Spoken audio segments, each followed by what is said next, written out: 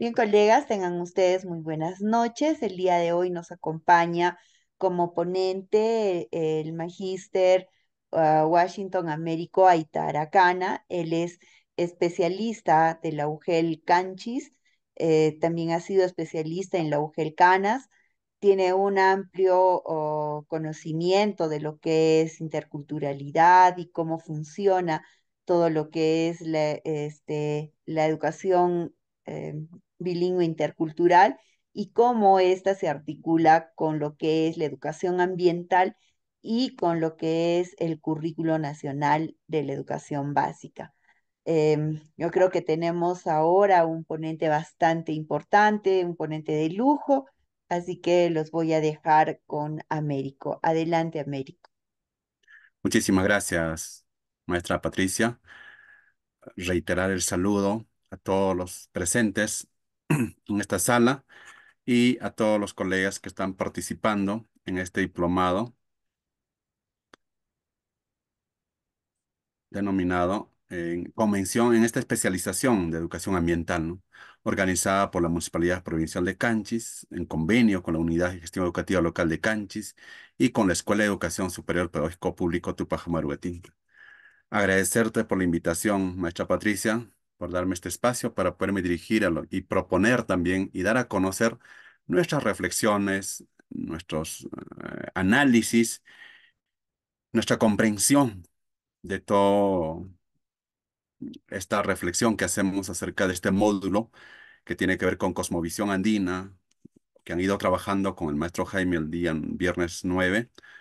Todo ello vamos a irlo encaminando hacia lo que ha hecho la última parte de la maestra Patricia, hacia el currículo nacional. ¿Sí? Eh, vamos a hablar mucho, seguramente. Hemos hablado bastante acerca de todas estas temáticas que hemos venido desarrollando, pero ¿cómo hacemos aterrizar en, eh, en una experiencia de aprendizaje, en una actividad de aprendizaje? ¿Y con qué competencias lo relacionamos o con qué competencias lo desarrollamos, todo lo que estamos aprendiendo, lo que estamos reflexionando, lo que estamos escuchando o lo que venimos finalmente practicando también. Entonces, eh, un poco que me voy a ir bastante hacia el CNF, algunas de las competencias, ustedes lo van a ver, eh, cómo hacemos aterrizar todos estos saberes, ¿no? De los pueblos originarios, de nuestros pueblos originarios, porque también provenimos de ellos. Anchiraykuqa allillanmi llapallaykichikpaq allin p'unchay allin suqhaykachun llapallaykichikwan. Panay Patricia, munayta qampis presentayamanki. Hinallataq qankunapaqpis kunami mastrimsaykis kay hamut'asqayta iminata nuqapis qhawarini kay iskay yachaypi sonqonchismanta umanchiswan pacha iminata nuqanchis hamut'arishunchis riki kay imimana yachaykuna kasqanta. Pero iminatas chaykunata noqanchis chaskirichisunchis kay currículo nacional educación básica nisqaw. Achichus ki atipaykunawan iminata noqanchis ki sapa p'unchi llank'ayninchispri ki sapa ñirq'ipi, sapa t'aqapi wawanchikkunawan o yachachiqkunawan iminata noqanchis yachachinanchis. Anchiyta noqa rimarimusaq, mana rimarimullashaqllachu. Ichapis qankunawan kushka llank'arishunchis. Añay uyariwasqaykismanta. Maestra Patricia, mmm, quise hacer esta presentación en nuestras ambas lenguas porque de eso también se trata este módulo, de ir mmm, desarrollando el lenguaje, porque básicamente me voy a ocupar de esta competencia. Muchas gracias, maestra Patricia. Entonces, ¿puedo dar inicio, maestra Patricia? Sí, excelente. Muchas gracias, Américo, por esta introducción en nuestro idioma mate. Realmente es muy interesante y creo que la educación ambiental tiene mucha relación con lo que es la interculturalidad. Nuestros pueblos originarios siempre han vivido en armonía con el ambiente y creo que este, esa es la línea por la que nosotros vamos. Adelante, Américo, muchísimas gracias. Ok, muchas gracias, maestra.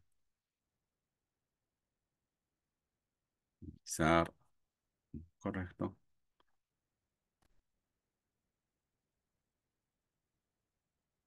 Me da un comprendido, maestra Patricia, por favor, si se visualiza. Sí, sí se visualiza. Genial. Eh, nuevamente hago de- doy doy a conocer, apreciados colegas, de los diferentes niveles, inicial, primaria y secundaria, asimismo de lo- nuestros amigos ambientalistas, seguramente ingenieros ambientales, mm, biólogos que también están presentes aquí y de otras carreras profesionales. Eh, nuestro discurso básicamente se va a basarse en, tiene que ver esto justamente lo que acaba de decir la maestra Patricia, en el desarrollo de la oralidad, que es el ADN de cualquier cultura, de cualquier, eso, de cualquier pueblo originario, como los quechuas, los aymaras y los amazónicos. Asimismo, está muy, esta, esta especialización está estrechamente relacionada a una de las competencias de de una de las áreas. En este caso, en primaria y en inicial hablo, igual en secundaria, hablo del área de, de la competencia gestiona responsablemente el espacio y el ambiente. Entonces, ¿cómo se relaciona con estas dos competencias? Se comunica oralmente en su lengua materna y congestiona responsablemente el espacio y el ambiente. Incluso, maestros, tiene estrecha relación con la, con la competencia de leer diversos tipos de textos en su lengua materna. Pero Vamos a ver en el tra- trayecto. Esperamos que también el tiempo nos pueda ayudarnos. Eh, hago mención a las tres instituciones de manera concertada que venimos trabajando y eso dice mucho de las instituciones, obviamente. Entonces, cuando hablamos, eh, la, la- anterior ponencia que trabajaron con mi colega, con el maestro Jaime, hablamos sobre la Pachamama. Es cierto, estamos en Capacito Aquilla, es decir, en mes de agosto. Sin embargo, todo este, todos estos saberes que estamos desarrollando, reflexionando nosotros, porque por ahí también que primero es de sensibilizarnos, es decir, eh, por nuestro cerebro, por la parte límbica, ¿no? Eh, me refiero a que primero nosotros nos tenemos que emocionar y eso logramos desde la parte de nuestra actitud, ¿eh? habiendo desarrollado esto, pero como yo, docente o poblador o, o ingeniero o biólogo, cómo operativizo, cómo tangibilizo, cómo concretizo finalmente todos estos saberes que estamos desarrollando con las ponencias de los diferentes mm, ponentes, valga la redundancia, ¿no? Bueno, establezco las normas de convivencia, ser muy puntual, bueno, mil disculpas por estas fallas técnicas, participar activamente en el desarrollo de la sesión. Les voy a pedir, por favor, que sí escribamos en el chat, participemos. El uso de la plataforma virtual es un fin solamente educativo, correcto, por ahora, claro que sí. Eh, estar atentos a todas nuestras indicaciones que da el docente. Las consignas, y mantener una actitud de escucha y de respeto durante la, la, ponencia. Muy bien, dicho esto, explico la, de qué va a tratar nuestra secuencia de sesiones en la lógica que hemos venido trabajando ya en este componente de nuestra Pachamama, de la cosmovisión andina. Vamos a hacer una sección de recojo de saberes previos. Considero que este es el corazón de la ponencia, la relación de los saberes de nuestros pueblos originarios que hemos venido hablando mm, con las competencias del currículo nacional de educación básica. En esta ocasión me voy a referir solamente a tres, perdón, a oralidad, lectura y gestión. Sí, aquí un lapsus. Tres. Espero, al menos tengo clarísimo cómo lo vamos a hacer en oralidad y gestión. Bien, quisiera iniciar dando a conocer esta participación, retomando la primera competencia de la, del área de comunicación, denominado Pacocha Runaj Llaqtanmanta, Causainenchista, Willanacusu. Si se dan cuenta, amigos oyentes, esta ponencia tiene que ver con lo que es oralidad. Como les dije, eh, Nila Vigila habla, nos dice de que el ADN de los pueblos originarios es su lengua. Y en esa cuenta no solamente es reflexionar sobre lo, todas nuestras mm, prácticas ancestrales, sobre nuestras costumbres, sobre nuestras tradiciones, sobre nuestra sabiduría, sobre nuestros saberes, sobre la tecnología que han desarrollado. Pero ¿cómo transmitieron nuestros antepasados toda esta sabiduría? Sabemos que nuestra cultura, los quechuas, los aymaras, los amazónicos, somos eminentemente orales. Hemos ido transmitiendo todos estos saberes y estas sabidurías a través de la lengua, a través de la comunicación. Se dice que nosotros, nuestras culturas, lo- los, los quechuas, por ejemplo, no hemos desarrollado la escritura. Es cierto, hacemos préstamo del alfabeto español, pero eh, nuestra, nuestra lengua quechua existe. Somos usuarios de esta lengua actualmente.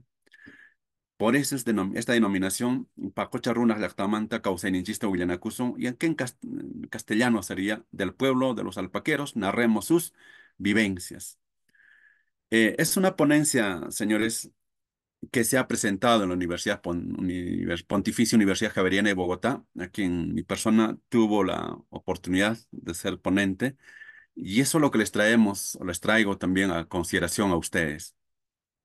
Pero para ello, por favor, vamos a entrar a un espacio de recuperación de saberes previos.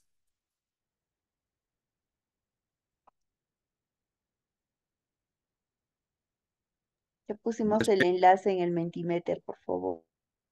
Por favor, sí, voy a... ingresar. Correcto, gracias, maestra Patricia. Vamos a ingresar al...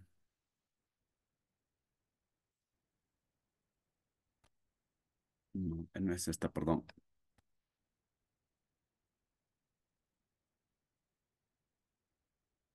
Podemos ingresar en el enlace que está en la plataforma para poder participar en el recojo de saberes previo.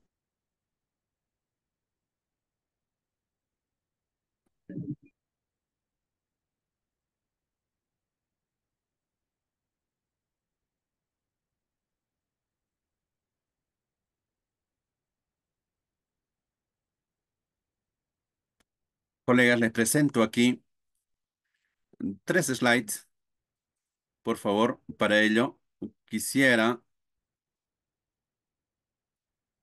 vuestra participación respondiendo a estas preguntas, maestros y maestras y público presente. ¿Para qué sirven los criterios de evaluación de la competencia se comunica oralmente? Por favor, ya estamos, podemos ingresar.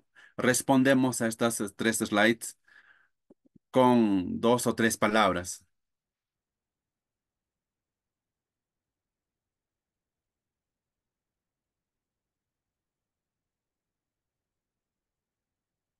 ¿O tenemos alguna dificultad? Por favor, si me dan el comprendido.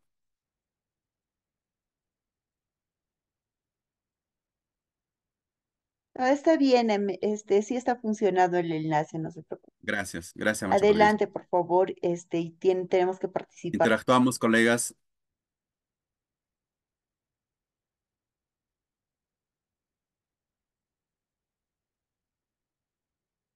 Sí, por favor, a ver, colegas, no tenemos ninguna respuesta todavía. ¿Estamos ahí presentes?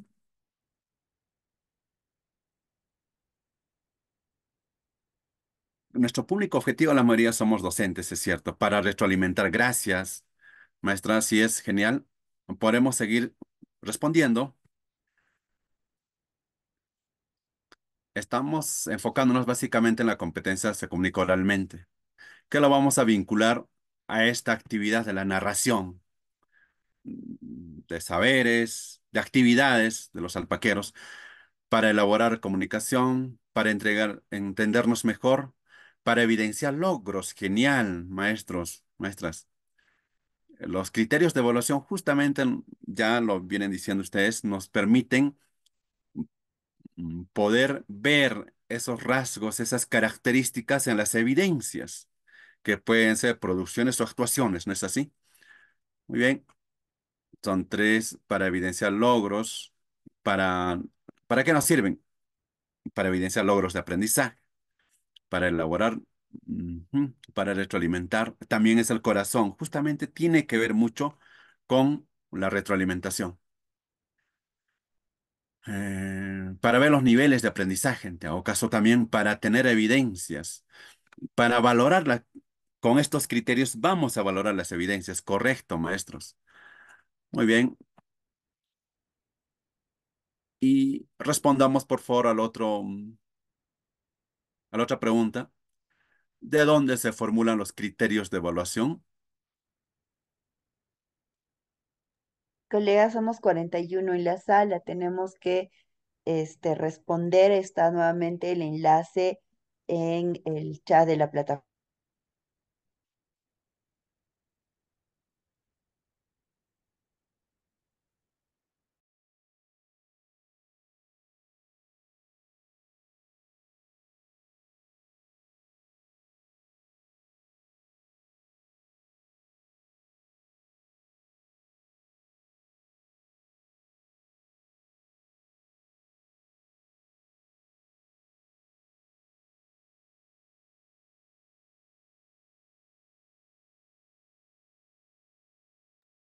Muchísimas gracias. ¿De dónde se formulan los criterios de evaluación?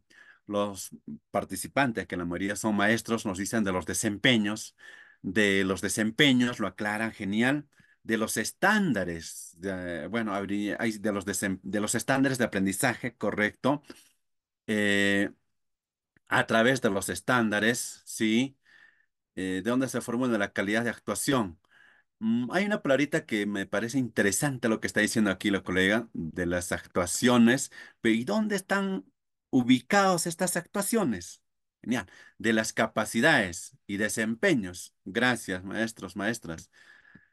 Genial. De los estándares. Ajá. Muy bien. Del estándar de los desempeños. Gracias, maestro. Efectivamente, miren, qué interesantes poder ir recogiendo los saberes previos Nueve respuestas, por favor, de los 45 con el que estamos presentes en la sala. Por favor, seamos un poquito más activos, maestros. A ver, con nuestros eh, equipos, con nuestros celulares o con nuestra lap, a través de nuestros celulares, a través de nuestra laptop. Sigamos respondiendo, por favor, maestros. Porque de esto, esto es la parte disciplinar que nosotros manejamos, que nosotros dominamos. Pero ya hay ideas clarísimas. Aquí eh, ¿de dónde se formulan? De los estándares, gracias, y de los desempeños. Genial. ¿Y por qué está de manera grande esta palabrita desempeños? Porque es lo que más, lo más recurrente. Genial. En las 11 respuestas, lo más recurrente son, eh, es, es pues desempeño. Gracias. Eh, Obdulia aquí nos dice de los desempeños precisados. Miren, Esta, esta categoría de los desempeños precisados hoy en día ya no lo hablamos. Ojo, en la 094 no habla de desempeños precisados. Hablamos de criterios de evaluación, hablamos de desempeños, hablamos de capacidad, de estas cuatro definiciones claves de nuestro CENEF, ¿no? Genial, maestros, de las capacidades, desempeño sigue siendo un- una, palabra recurrente y por eso es que se mantiene aquí, así como también estándares, ¿no? Entonces se formulan de los criterios, los criterios de evaluación se formulan a partir de los estándares de aprendizaje que son los referentes a nivel del ciclo y de los desempeños que son los referentes específicos de aquello que debe saber hacer el estudiante. ¿Eh? Y eso es lo que debe de saber hacer, tiene que ser evidente. Por eso es que dice evidencia. Yo tengo que verlo. Tengo que comprobarlo. ¿Y con qué lo voy a ver y comprobar? Con nuestros criterios de evaluación. ¿Dónde dice eso que se formulan a partir de los, desempeños y los estándares? Lo hice en la resolución viceministerial en la 094 en su apartado 5.111, colegas. ¿sí? Lo revisamos esa normativa. Ahora que estamos próximos al nombramiento, próximos a la evaluación de ascenso también. Correcto, maestros. Pasamos a la siguiente pregunta, por favor. Muchísimas gracias a los 14 colegas que han ido formulando. ¿Y cómo se formulan los criterios de evaluación? Ahí está la preguntita, colegas. ¿Cómo se formula?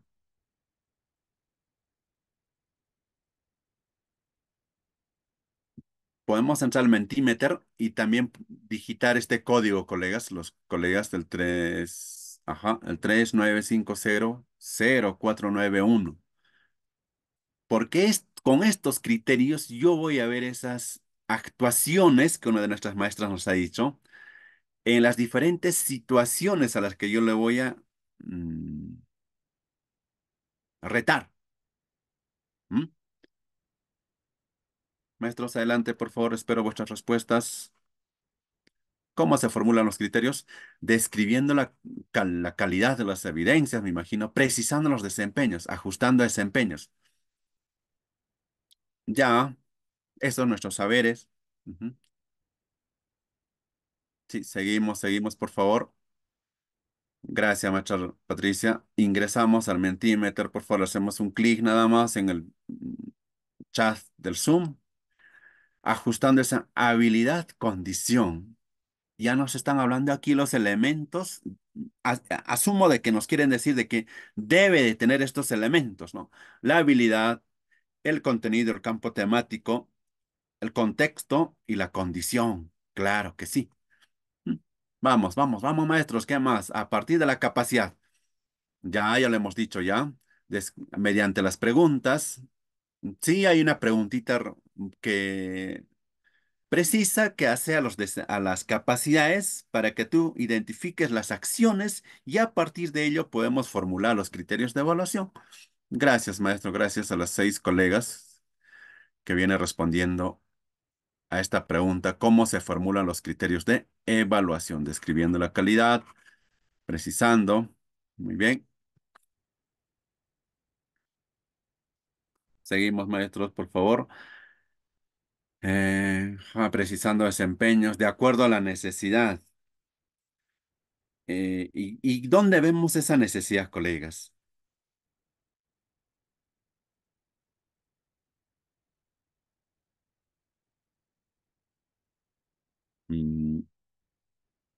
¿Cómo se formulan los criterios?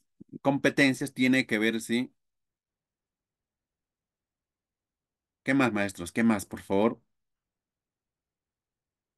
Vamos, maestros, son ocho colegas que han respondido.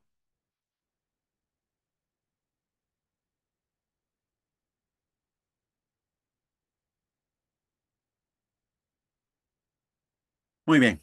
Creo que ya tenemos información suficiente acerca de cómo se formulan los criterios de evaluación. Ajá, alguien, hace rato alguien había dicho y viendo las ac- acciones y vamos a ver de eso. Muy bien, muchísimas gracias por vuestra participación. Aquí nos, alguien nos escribe también, colegas, en los estudiantes. Claro, Ingresamos. Muy bien. Muchas gracias, maestros.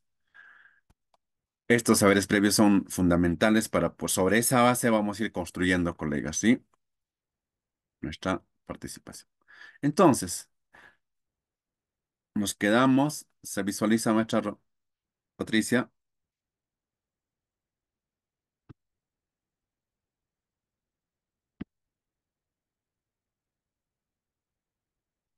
Colegas, sí se visualiza, ¿no? Sí se ve. Gracias, gracias, gracias. Entonces, nuestra ponencia se llama Pacocha Runaj Llaqtanmanta Kawsayninchista Willanakusu. Toda nuestra sabiduría se ha ido mm, transmitiendo a través de la oralidad. Esa es la idea principal de esta ponencia. Entonces, nosotros como maestros, ¿cómo garantizamos la continuidad, la transmisión de todos estos saberes, de todas estas temáticas que ustedes han abordado en esta presente especialización, diplomado de especialización? Entonces, la experiencia se ubi- se ubica, preciados participantes, en el centro poblado de Pinaya, ¿sí? que está ubicada en el centro, en el distrito de Pitumarca, región Cusco. Básicamente, la descripción del contexto es netamente una un centro poblado alpaquero. Propiamente el hombre vive de, de sus alpacas. La, la manifestación económica ya es la crianza de la alpaca Y bueno, nuestro, nuestra geografía es como la ven ustedes, está el Nevado del Vilcanota, el nudo del Vilcanota, ¿no? Esa, así es nuestra realidad, les cuento. Pero aquí tenemos un problema, maestros. Ustedes saben que PISA, a través de la, o, también la UMC, a través de la evaluación censal, ahora Evaluación Nacional de Logros de Aprendizaje, el ENLA, siempre nos ha exigido garantizar mínimamente nivel satisfactorio, que nuestros estudiantes se encuentren en nivel satisfactorio, por lo menos en gran porcentaje. Pero aquí le encontramos una relación. Nosotros como maestros, como padres de familia, como profesionales que, que tenemos, que tenemos relación con docentes, con estudiantes, ¿no? Y esta competencia mm, habilitadora la comprensión depende de la competencia la oralidad. Es decir, para yo garantizar una comprensión lectora de los textos, diversos tipos de textos en su lengua materna, de textos escritos, debo de garantizar el desarrollo de la oralidad. Es decir, yo no puedo comprender el significado de una palabra si es que yo no tengo el bagaje de, o la cantidad de palabras suficientes, uno, en mi, en mi, en mi mente, ¿no? Es decir, ¿y eso cómo se desarrolla? A través de la, de la oralidad, tanto en lengua materna como en segunda lengua, ¿no? En este caso, como en castellano. Si bien el misterio no se evalúa en ambas lenguas, ojo, tanto en castellano, tanto en EIB, pero pasa por primero desarrollar la oralidad. Es por eso que en el área de comunicación, eh, las áreas están desarrolladas en el siguiente orden. Y eso no solamente para los docentes, es para todo lo público oyente que está aquí.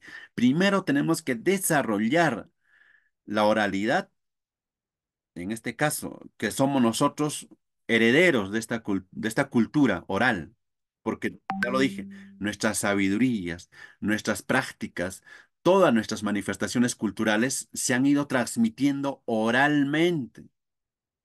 Nosotros somos una cultura oral, netamente oral. Y ustedes dirán, y por eso es que se nos critica, no tenemos el hábito de la lectura, porque eso está en nuestro, mm, la, oralidad está en nuestros genes. Pero ojo aquí. Eso no quiere decir que ni bien nacemos, ah, bien, desarrollamos en lo- los tres, en los cuatro estadios, ¿no? Que Piaget nos habla, pero no autom es, es cierto que hablamos a los seis, ocho meses, ¿no? Expresamos nuestras primeras palabras y damos por hecho y sentado de que ya hablamos o ya des- hayamos desarrollado la competencia de la comunicación de, de la oralidad. Y no es así, tan, no es tanto así, colegas o público presente. Debemos desarrollar esta competencia, pero vamos a ver. Entonces, perdón, la- bien, la problemática es justamente que nos enfrentamos a bajos niveles de desarrollo en comprensión lectora, producto de la escasa desarrollo de la comprensión oral. Pero ¿por qué, como les dije, por qué este es el origen, el, problema?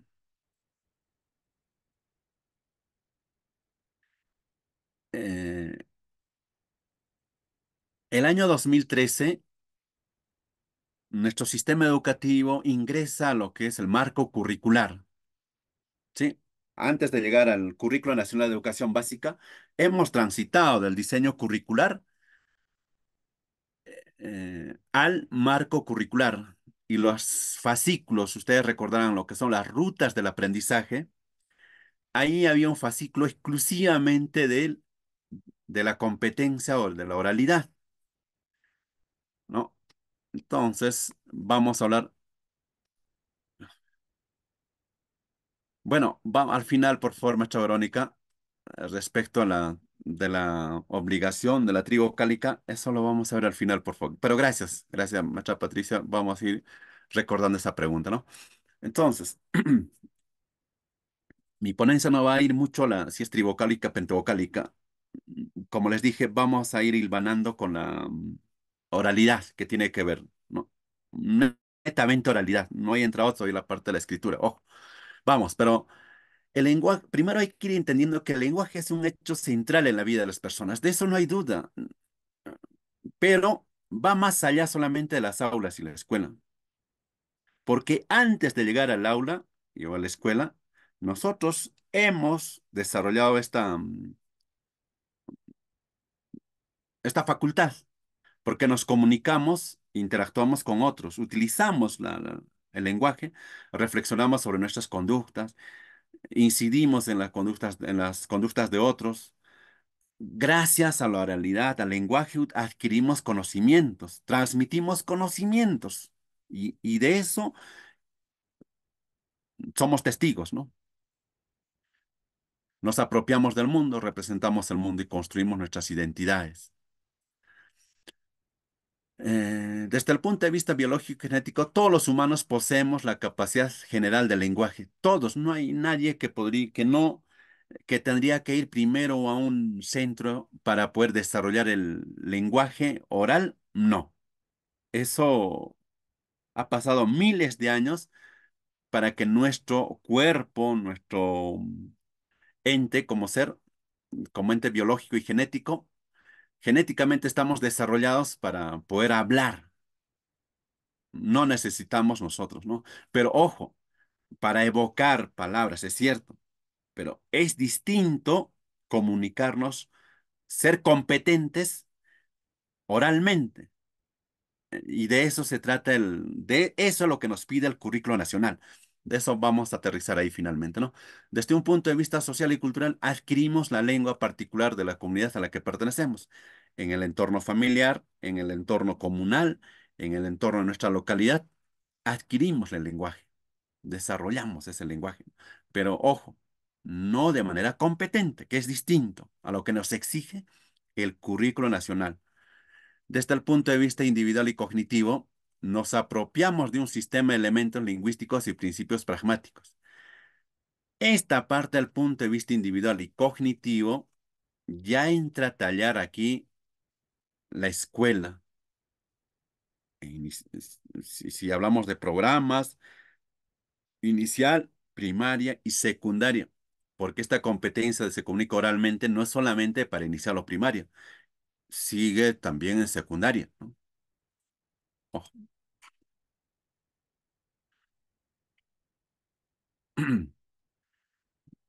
Hemos desarrollado el habla, es cierto, pero dentro de esto hay variedades, ¿no? Esta variación interna es inherente a todas las lenguas del mundo. Ahí había un- hay un video que no lo vamos a poder visualizar por la premura del tiempo sobre eh, las variedades del castellano en el Perú o los castellanos en el Perú. Así hay un video en, en YouTube, exacto. Y, eso tiene que ver con, con situaciones incluso del... ¿Y cuál es el estándar, pues, de aprendizaje del castellano? A lo que todos queremos llegar, ¿no? Asumir o quere- quisiéramos mm, desarrollar ese estándar. Vamos a ver, colegas, ¿no? Entonces, variedades de habla de qué dependen del tiempo, variedades históricas o generacionales. Dependen del lugar, ¿no? Variedades geográficas o regionales. Nuestro, el castellano de la sierra se dice que es no es similar al castellano de Lima, por ejemplo, a la, a la que le han tipificado como un castellano estándar, un cas- castellano ade- adecuado. Esa variedad adecuada, ¿no? Recuerdo mucho incluso que mm, pobladores ciudadanos de Chile contrataban a, niñeras o a personas para que cuiden a sus hijos, críen a sus hijos a peruanos, porque se decía que era el castellano deseado, ¿no? Porque podían enseñarles a sus hijos de los chilenos, porque si ustedes se han dado cuenta, nuestros amigos chilenos hablan muy rápido el castellano. Y si nos vamos a Colombia, donde tuve la oportunidad de estar un- una temporada, eh, el Pacífico Sur, claro, en el Pacífico, en las costas del Pacífico, hablan tan rápido que difícilmente los puedes entender. Entonces, tiene que ver con el lugar, con los grupos sociales y con la situación comunicativa, estas variedades. Dependen de eso. Y más aún, estas variedades, al relacionarse con otras lenguas originarias, o las lenguas indígenas, como es nuestro caso, aún presentan el multilingüismo mm, más evidente, ¿no? Eh, como idea central, estos no lo vamos a leer, colegas, la educación en lengua originaria es un derecho establecido en nuestro marco legal. Es un derecho, está constituido eso en nuestra constitución política, así también como en el convenio 169 de la Organización Internacional del Trabajo, y la recientemente promulgada de la Ley de Lenguas, ¿no? Por tanto, brindar la oportunidad de su aprendizaje es un deber del Estado, es un derecho. Nosotros tenemos la, responsabilidad y el deber de poder brindar las oportunidades de aprendizaje en su lengua. Mañana tenemos, por ejemplo, una evaluación de EIB, de dominio de la lengua de la escritura quechua, es cierto, normalizada. Maestras, y de repente va a discrepar conmigo, pero tenemos esa, es una lengua normalizada, la trivocálica, ¿no? Normativamente hablando así, ¿no? Pero podemos hablar con la pentavocálica, pero en escritura es trivocálica. Entonces, pero que no solamente se quede en la evaluación a la obtención de la constancia a nivel dominio oral y dominio escrito, solamente para una situación administrativa o laboral. Tenemos que hacer uso de la oralidad, maestros, no solamente para una eval, para acreditarnos una, con, una constancia. Seamos usuarios directos de nuestra lengua. Por su amplitud de funciones sociales, la educación en castellano es también un hecho en nuestra aula, ¿no? Necesitamos, requerimos de la lengua castellana, es innegable, maestros. ¿Por qué? Porque además es una lengua instrumental para el aprendizaje de otras áreas. Necesitamos del castellano, ¿no? Desde la llegada del siglo, en el siglo XV-XVI, y su comunidad de hablantes fue creciendo en nuestro territorio. Es una lengua, por, podríamos decir, con, colegas, que es una lengua de prestigio, porque socialmente goce de prestigio, y la que se usa en ámbitos oficiales, por ejemplo, el juzgado, aviso en las calles, postas médicas, comisarías, medios masivos de comunicación. A lo cual nuestra lengua, en este caso quechua, también ha ido ganando espacio, ¿no? En algunas instituciones vemos, por ejemplo, que están señalizadas en nuestra lengua, en nuestra lengua originaria, en el caso del quechua, en los puestos de salud también, ¿no? Entonces, pero es un proceso que poco a poco vamos a ir ganando espacio también. Pero miren, la relación que existe entre las lenguas originarias y el castellano, la lengua castellana. Pero, ¿qué implica ello, colegas? Más piezas rompecabezas. En un aula nosotros vamos a ver estudiantes con lengua originaria. Vamos a ver estudiantes con lengua castellana. Hay una, ¿no? Lengua que la lengua originaria sería la, la, para nosotros la segunda el castellano. Pues. También eh, su lengua materna sería el, es el castellano. Gracias, mamá. Muchas gracias. A ver, nuestros micrófonos, por favor, tenemos cuidado. Sí, ya lo, ya lo silencié. Gracias, gracias, Rachita. Gracias. Igual también nuestra segunda lengua, ¿no? En algunos casos, definitivamente, pero el inglés, al menos aquí en nuestra localidad, no vemos que sea una lengua materna, ¿no? Seguramente los puede haber, pero en la mayoría no, no tenemos eso. Que es una necesidad, claro, y se convierte en una segunda lengua. Esta heterogeneidad situacional social lingüística ha ido generando creencias en nuestros maestros, ¿no? Y empleamos, eh, que empleamos el castellano como una lengua de enseñanza, ya no podemos asumir que, es decir, no podemos seguir creyendo que todo estudiante de la educación básica regular es monolingüe en castellano, o que todos nuestros alumnos tienen un dominio semejante a esta lengua. Es decir, que todos nuestros estudiantes hablan de manera uniforme, homogénea el castellano. Podríamos llegar a ello siempre y cuando que nosotros desarrollemos la competencia de la oralidad. Se comunica oralmente. Pero hay otra creencia que también tenemos nosotros instaurada, ¿no? No podemos seguir creyendo que todos los hablantes del castellano conocen y usan la variedad estándar. Claro que sí, definitivamente. Entre la costa, la sierra y la selva, nuestro castellano es, es variado. Y esa es la riqueza en nuestra expresión del castellano, en este caso. Incluso en los propios quechuas. ¿Cuántos de nosotros que hemos visitado aquí cerquita, el quechua pitumarqueño, a ver, maestros, con el quechua sicuaneño, se distingue totalmente?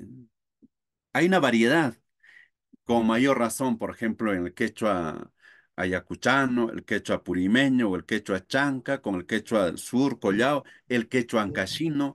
Ve esas variedades dialectales que existen, lo mismo también, ese mismo hecho, ese mismo fenómeno se presenta en la variedad, en, en, el, en los hablantes del castellano. Y, pero, ¿qué trae como consecuencia esto, maestros o señores participantes? Bien, gracias, maestra Rosalini. Así es. Siempre y cuando que nosotros, a través de nuestras uh, escuelas, y, y, bueno, y de las instituciones educativas inicial, primaria y secundaria, vamos desarrollando nosotros pues nuestro quechua. Gracias, maestra Roxanini.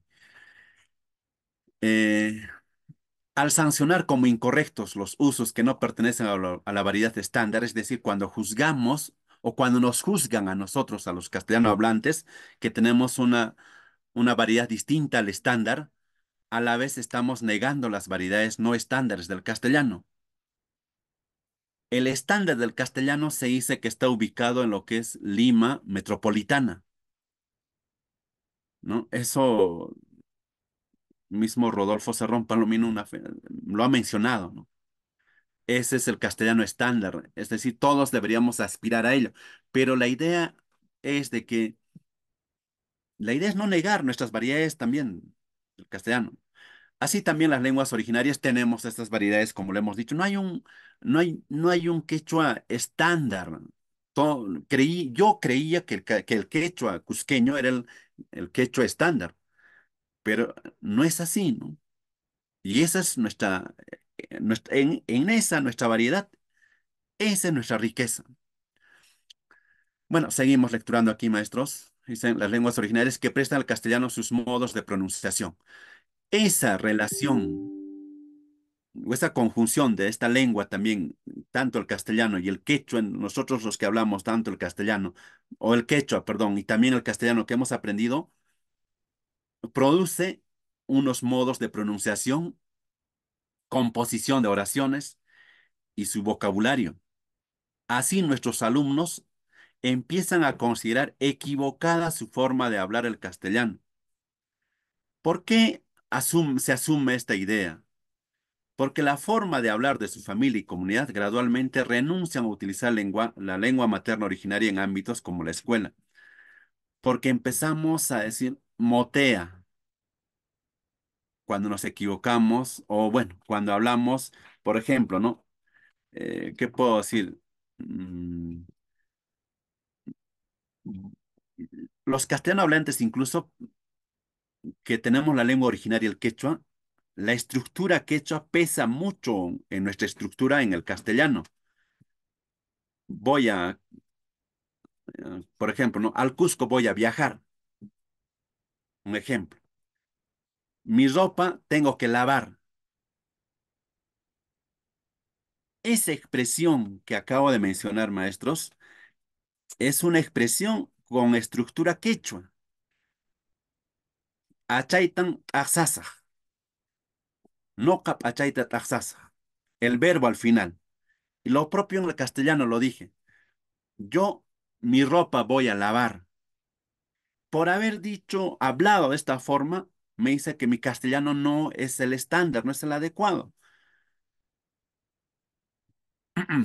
Y por eso es que muchas veces evitamos ya no queremos, pues, ¿no? Esa, esa tener, esa, utilizar el lenguaje materno porque origina esa, mm, que no nos acercamos al tan ansiado, deseado estándar del castellano. Esta situación explica frases como mi castellano es motoso, exacto, ¿no? Lo que les dije, que son claro reflejo de una práctica discriminatoria dentro de nuestro sistema escolar. Los propios niños, los propios estudiantes fustigan, cuestionan, son objeto de burla nuestros niños que hablan de esta forma. Nuestra labor como docentes y educadores nos obliga a reconocer nuestra cuota de responsabilidad al permitir esta situación inequitativa también. Desde la escuela tenemos una deuda social. ¿Y por qué desde la escuela, maestros? Porque nosotros somos los que debemos desarrollar esa competencia de se comunica oralmente.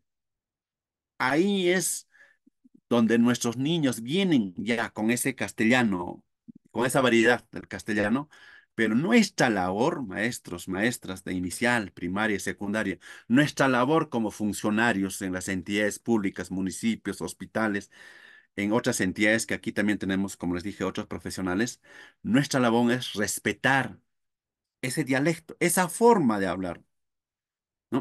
Desde la escuela tenemos una deuda social que debemos afrontar para transformar nuestras instituciones en espacios verdaderamente democráticos e inclusivos. Entonces, la inclusión no solamente se ve por la situación de una, de una necesidad física, ¿no? O de una necesidad intelectual. seamos inclusivos también a nuestros niños, a las personas que podemos hablar distinto, tenemos una variedad dialectal, no, no como el estándar o como el esperado. Pero la idea es transmitir, seguir a ello, ¿no? ¿Qué aprenden los niños? Bueno, nos dice la maestra, los aninis se llevaron nuestra riqueza más no nuestra lengua. Claro que sí. Esto nos trabajemos nuestra lengua porque lo que aprenden de niños no olvidarán nunca. Exacto. Maestra Isabel, igual. Lo importante es que todos colaboremos y hagamos lo posible que se logre nuestra lengua, se logre universalizar. Es, cierto esa maestra, ¿no? Es cierto, pero esa universalización o que de nuestra lengua originaria también sea en el marco de la, de la competencia, de, las, de los desempeños que nos habla la competencia se comunica oralmente. Entonces, producto de esta problemática, maestro, nosotros en la institución educativa, les hablo cuando yo trabajaba en mi institución educativa 56337 Pinaya, planteamos justamente la idea era desarrollar la expresión oral de nuestra lengua materna, el quechua.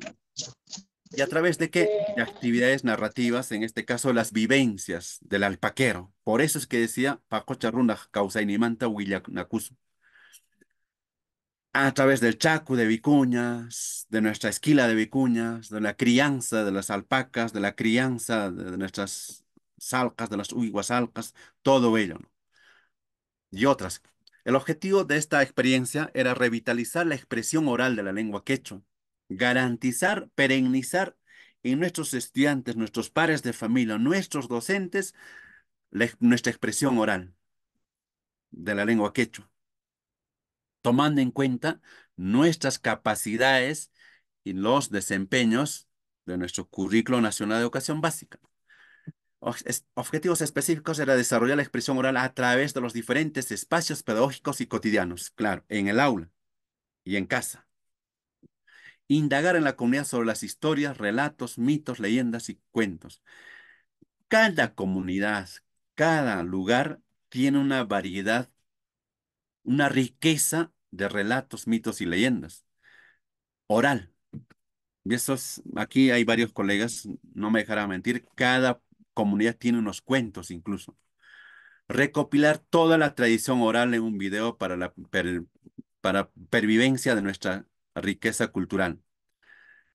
Solo así podríamos ir garantizando nuestra tradición oral, ¿no? ¿Qué actividades hemos ido desarrollando, maestros? Visitar a los abuelos para que nos puedan contar relatos en quechua, los yachaj. De esto CEPROSI, PRATEG, eh, las otras ONGs, las otras entidades que, se, que promueven, por ejemplo, los YACHAG, el propio, la propia Escuela Pedagógica de Tinta, ha incluido a nuestros abuelos, a nuestros YACHAG, para, porque ellos son un testimonio en vida que nos pueden dar a conocer estos relatos. ¿Y cuál era el objetivo? Identificar los recursos narrativos que usa el relator. ¿no? Igual, narrar, narración en quechua de cuentos, narración de mitos y leyendas por parte de los padres de familia en la escuela. Nuestros padres también son nuestros aliados, ¿no? El objetivo es recopilar en audio y video los cuentos tradicionales, grabación y escucha sus propias voces en lengua, reflexionar sobre los procesos de la expresión oral. Aquí ya entra a tallar un poco ya sobre las capacidades del currículo nacional, es decir, en nuestro currículo nacional vamos a ver en la competencia propiamente dicha de comunicar oralmente que se subdivide incluso en dos grandes campos, ¿no? Porque no solamente habla de oralidad, de expresión oral, habla sobre comprender textos orales también, y otra cosa es producir textos orales. Realización de un debate en lengua materna sobre la discriminación, producto de, ese, de esa problemática que tenemos arriba, que lo hemos identificado, argumentar su posición en lengua materna. Eh, la argumentación no solamente es en texto escrito, y esa tenemos esa creencia que solamente al desarrollar la comprensión de textos argumentativos, ya hemos desarrollado la argumentación.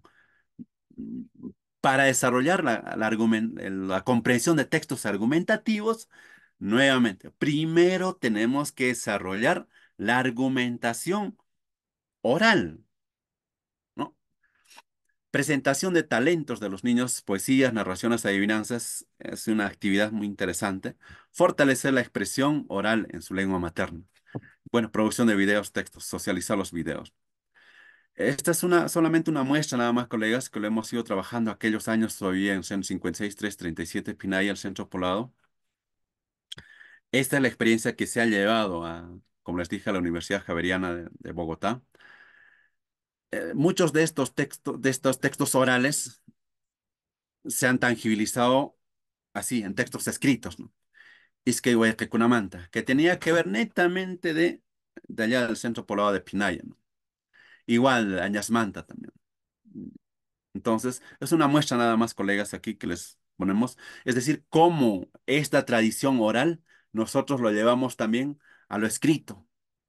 Y de eso se trata la relación, la sinergia de, competencias de, la, de las prácticas o de los mitos, cuentos, leyendas que existen en nuestras comunidades y los para perennizarlos, colegas, definitivamente lo vamos a hacer tanto en audio en grabación, pero qué mejor también si lo hacemos a través de la escritura. Bueno, el punto de partida les dije para qué queremos aprender. Se ha sistematizado estas, estas experiencias para ir reflexionando también sobre esta problemática que tenemos, de que, que hemos identificado aqu aquella vez, ¿no? El reconocimiento lingüístico, como dice la educación, en lengua originaria es un derecho establecido en nuestro marco legal, ¿no? Mm, no solamente lo veamos desde la parte normativa, veámoslo de la parte actitudinal, el compromiso que tenemos con nuestra lengua, con nuestra lengua originaria. Va más allá del reconocimiento jurídico, más allá de los textos escritos, evidenciar el uso funcional de la lengua materna en cualquier contexto. Seamos usuarios de nuestra lengua en los espacios que tengamos, lógicamente. ¿Por qué nuevamente les digo, maestros, soy insistente y terco en esto la, de la competencia lingüística? Necesitamos reconocer, desarrollar la competencia lingüística primero por la competencia se comunica oralmente. Porque esta competencia se subdivide en dos grandes campos o dos subcompetencias, si queremos llamarlo así para entenderlo. Producción oral, primero comprensión oral y producción oral. Esta es la competencia, incluso yo diría más compleja que la competencia lee diversos tipos o la competencia escribe diversos tipos de textos. ¿Por qué? Porque esta competencia tiene más capacidades que el resto de las competencias del área de comunicación. Producción oral. Organiza se, organiza se refiere a los discursos planificados espontáneos. Es que para poder tú hablar, tienes que organizar tus ideas, pero eso lo tienes que hacer en un clic.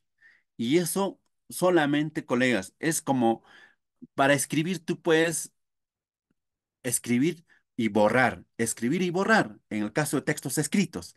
Pero en la producción oral, maestros, tú tienes que tener una habilidad de organizar tus ideas y luego evocarlas, expresarlos mediante mensajes usando convenciones. Es decir, tengo que utilizar mis recursos expresivos en aquí. Bueno, aquí no estoy poniendo mi video por la situación en, en video, porque yo ah, con usted estoy utilizando mis manos, mi tonalidad de voz, mis gestos. Esos son mis recursos expresivos. ¿Sí? Es que a la hora de producir oralmente, tengo que poner en, en práctica esas capacidades y esas actuaciones. No por una nota, no por, por un calificativo. Comprensión oral. Escucha mensajes en situaciones de interacción. Es más fácil leer un texto escrito porque lo vas a ver cutivuelta, como me han dicho en los talleres los docentes. Nosotros podemos leerlo dos, tres, cuatro veces un texto escrito, pero escuchar un mensaje, una situación, colegas, eso solamente vas a tener una oportunidad. Y para esto tienes que haber desarrollado la escucha activa. Identifica información, diversos tipos de textos orales. Vas a identificar lo que te está diciendo el ponente, o el narrador o el, o el orador. Pero no le vas a poder decir, pero repite otra vez, a ver, este, rebobínalo. No, maestro, claro, siempre y cuando que sea una grabación. Pero en vivo y directo, solo una, en una ocasión vas a tener que identificar la información en diversos tipos de textos orales. Infiere significados del discurso oral vas a deducir lo que está hablando esa persona, las palabras que está diciendo, las, los refranes, los recursos que está utilizando, tú vas a tener que inferir, pero en una sola, colega, nuestro estudiante. Va a tener que reorganizar esa información de diversos tipos de textos en discursos orales y reflexiona la forma del contenido. Bueno, esto como fuente es el fascículo del área de comunicación 3 de Rutas del Aprendizaje 2003, porque me parece muy didáctico lo que nos dicen en ese fascículo. Entonces, maestros, el arte de hablar difiere mucho de todos los demás artes, porque el hombre tiene tendencia instintiva a hablar. Como les dije, instintiva y genéticamente sí hablamos, pero es distinto que tengamos, que dominemos el arte de hablar, mientras que ninguno de ellos muestra tendencia instintiva a fabricar cerveza o hacer el pan o escribir, ¿no? Bueno, lo dijo eso Darwin. Y si entramos a educación intercultural, ya lo hemos dicho, tenemos dialectos en nuestra lengua originaria y dialectos también en el castellano. Bueno, bueno, esto solamente, colegas, como conclusiones, les muestro, el lenguaje oral permite construir significados a través de las múltiples actividades y oportunidades de conversación y diálogos que se presentan a los niños y niñas. Construir significados pasa por identificar ideas, datos, información, con deducir, con utilizar, este, claro, con inferir de manera oral, obviamente. Al desarrollar las competencias orales en lengua materna de los niños y niñas en diversas actividades de su quehacer cotidiano, desarrollamos procesos cognitivos previos a la escritura. A través del desarrollo de la oralidad en su lengua materna en las diferentes actividades de comunicación, afirmamos la identidad de pertenencia a una comunidad y cultura.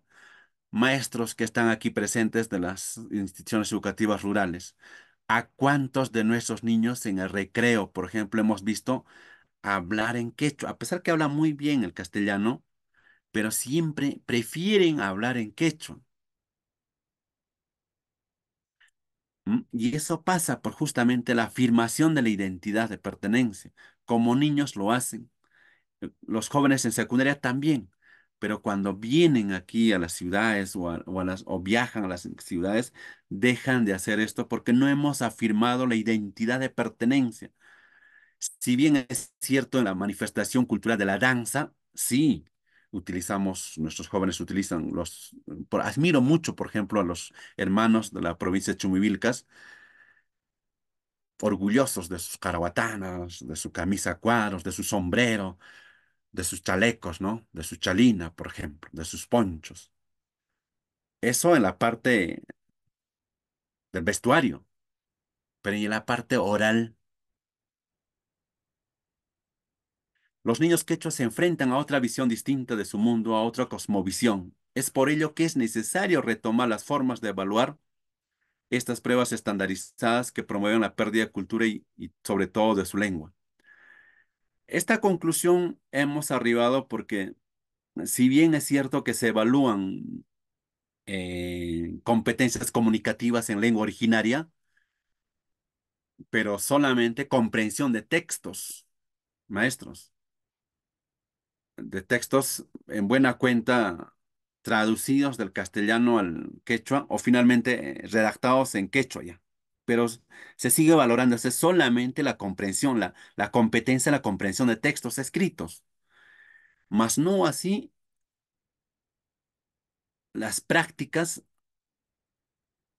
culturales, es decir, lectura de señas, eh, la sabiduría, por ejemplo, a la hora de cultivar nuestros productos como la papa, en qué tipo de suelo, que han hablado bastante con el maestro Jaime, o esto del Keipacha, el Hanajpacha y el Ukupacha, esta relación que existe entre, entre estas tres, no, entre las deidades, por ejemplo, del Runa, del Salca eh, y de nuestra Pachamama, eso no se evalúa, no se ve, no se valora, más que evaluar, no se valora, ¿no? Entonces, consecuentemente, como que no es visibilizado. Bueno, sabemos que el sistema de evaluación ahí es a nivel de sistema, pero al menos, señores presentes aquí, hagámoslo a nivel de aula, ¿no? Con eso termino esta, esta práctica de lo que es desarrollo de la oralidad a través de un proyecto que hemos ido desarrollando. Ahora vamos a ir a la otra parte propiamente del currículo, maestros. Seguramente hay muchas preguntas. Lo iremos desarrollando al final porque veo que el tiempo también nos está ganando los colegas. Están las oralidades en el espacio que se criaron. Gracias, maestra.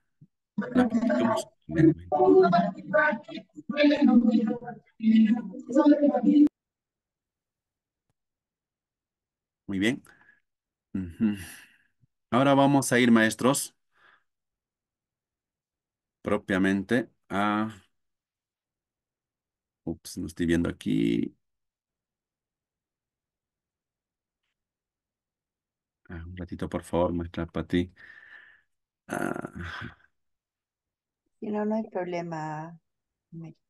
Mientras tanto, colegas pueden estar este, poniendo su su asistencia, igualmente este,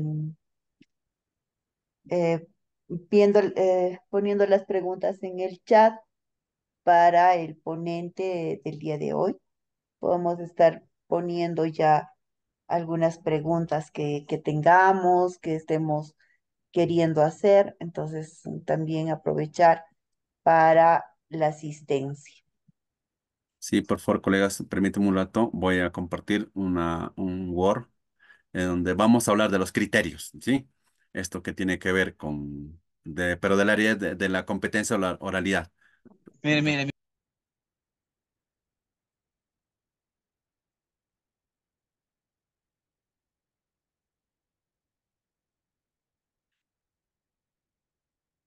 Les está colocando la asistencia en el chat mientras vamos compartiendo este, el, el Word del colega Américo. Podemos ir también de repente si tenemos alguna pregunta. Bien, ya tenemos la presentación lista. Gracias. Un. Me he equivocado, un lapsus. Un lapsus, por favor. Ahí, un minuto más. Pero igual, colegas, por favor, coloquen su asistencia. Sabemos que es bastante necesario el, el tomar asistencia. Recuerden ustedes que es una buena parte de la calificación. Entonces, por favor, vamos colocando su asistencia. Y al final también se les va a compartir un link de eh, una encuesta que constituye la asistencia de salida. Muy bien, maestra Paticita, ya podemos continuar. ¿Se visualiza, maestra Pati? Sí, sí. Genial. Estamos entre el área de comunicación. Nuestra área de comunicación tiene tres grandes competencias, como son se comunica. Esta es la lógica, colegas. Miren, iniciamos por la que se comunica oralmente. Luego pasamos a lo que son lee diversos tipos de textos escritos. Y finalmente aterrizamos en escribe diversos tipos de textos. Esto es de programas, cuna, inicial, primaria y secundaria. Entendiendo que en primaria, inicial y primaria damos con aspectos básicos, pero en secundaria ya son profesores de la especialidad del área de comunicación. Entonces, no digo que solamente ellos deben desarrollar, todos debemos desarrollar estas tres competencias, pero primero tenemos que garantizar desarrollar esta competencia. ¿eh? Por eso es que está presentado de esta forma, colegas. Esto está en el currículo nacional, colegas, solamente lo he trasladado al Word, ¿no? Entonces, por eso abordamos, se comunica oralmente en su lengua materna. Interacción dinámica entre uno o más interlocutores. Lo que estamos haciendo ahora, ¿no? Para expresar y comprender ideas y emociones.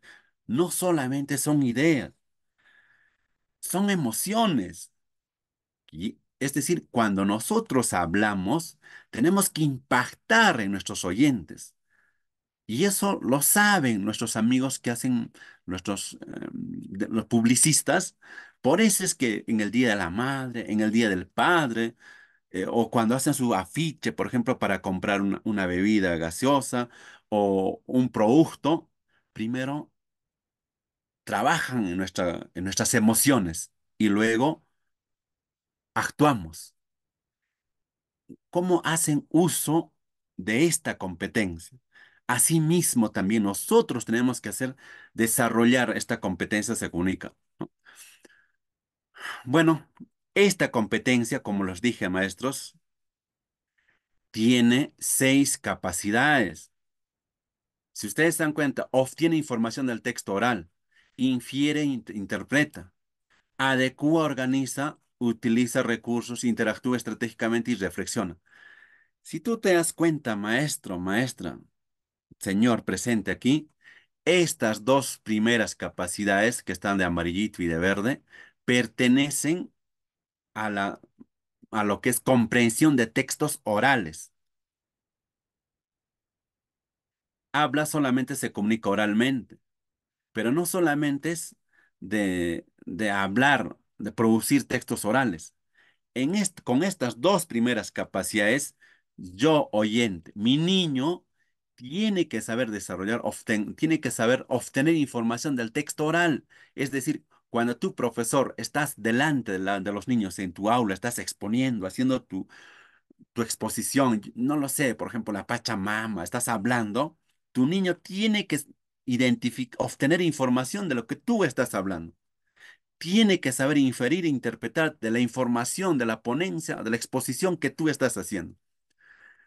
Pero no automáticamente, el niño de la nada no va desarrollar estas capacidades. Pues yo, docente, tengo que plantear actividades para que él obtenga información, sepa obtener información, sepa inferir e interpretar información. Punto aparte, ahí ve. Las dos capacidades, como les dije, son de comprende textos orales. Las cuatro capacidades adecua y organiza, utiliza recursos no verbales para verbales, interactúa estratégicamente y reflexiona sobre la forma, el contenido, contexto, el texto oral, estas cuatro capacidades, sobre todo las A, la C, la D y la E, y parte de la F, son netamente producción textos orales. Produce textos orales. Aquí ya viene, pues, esas, lo que nos dicen en las academias de mm, oratoria, ellos se enfatizan propiamente en estas tres capacidades, cuatro capacidades. Adecua, utiliza, interactúa y reflexiona y evalúa la forma de cómo él habla. Vamos a hacer el ejercicio, maestros, con la formulación de criterios de evaluación. ¿Sí? En el marco de, de ir desarrollando esta competencia para ir garantizando nuestra tradición oral. Pero no solamente hablar por hablar, sino hablar según lo que nos pide y exige el Currículo Nacional de Educación Básica. Yo tengo que garantizar en mi estudiante del tercer ciclo que, se, que logre el nivel esperado. El tercer ciclo. Cuarto ciclo, bueno, los, estoy ejemplificando el de primaria porque, bueno, soy docente de educación primaria. Y el quinto ciclo, que no dista mucho también, colegas, con los colegas, tanto el inicial, tercer ciclo, y el quinto ciclo con los colegas de secundaria, ¿no? Bueno, ¿por qué lo he resaltado por colorcitos, colegas? Dirá, les explico. En el estándar, maestros, tú vas a ver las capacidades, la combinación de capacidades. El mejor ejemplo de combinación de capacidades que tenemos es el estándar, porque aquí, esto es pues lo que, lo, lo que debe de saber hacer al término de un ciclo. Es decir, al término del segundo grado, el tercer ciclo, al término del cuarto grado, es todo esto debe de saber hacer, colegas, lo que estoy sombreando. En, en diciembre me tiene que demostrar en el niño de sexto grado, todo esto que estoy sombreando, en lo que es en, la competencia referido a oralidad. ¿Eh? Entonces, los desempeños de igual forma se ha resaltado de esta forma por una cuestión didáctica. Los de amarillito te darás cuenta de todos los grados, de primero a sexto, tienen relación con la primera capacidad de obtiene. A ver, profesor, explícame Claro, mira, dice, te dice, recupere información explícita en los textos orales, que escucha seleccionando datos específicos y presentan. Es amplio, y hay una profesora dijo, precisión de desempeños. Eso habíamos hablado del 2017, 18, hasta el 19, antes de la pandemia. Pero a partir de ahí ya no hablamos de precisión de desempeños. Hablamos de lo que es formulación de criterios de evaluación. ¿Y de dónde se había formulado los criterios de evaluación? Aquí tenemos, y eso lo han dicho ustedes, del estándar y de los desempeños. Vamos a hacer el ejercicio muy rápido, colegas, porque entiendo que el, el tiempo en esta ponencia es cortísimo. El, espero que me pueda ayudar. Yo ya hice el ejercicio, colegas, pero lo que quiero mostrarles, maestros, es que al interior de los desempeños, en cada uno de los desempeños, colegas, hay actuaciones. Esas actuaciones son los que yo debo desarrollar, garantizar su desarrollo, porque con esas mismas actuaciones voy a exigirle al niño. Yo tengo que desarrollar estas actuaciones. Si tu experiencia de aprendizaje, tu unidad, tu proyecto tiene una duración de cuatro semanas, en esas tres semanas y medio, las tres semanas, maestra, tú eres un coaching, eres una entrenadora, eres una preparadora, en este caso, de estas, de estas capacidades. Desarrollas estas capacidades, desarrolla la, perdón, la competencia se comunica oralmente, movilizando estas seis capacidades, ¿no? En este caso, yo diría las dos primeras capacidades para lo que es comprensión de textos orales y las cuatro últimas capacidades para lo que es producción de textos orales.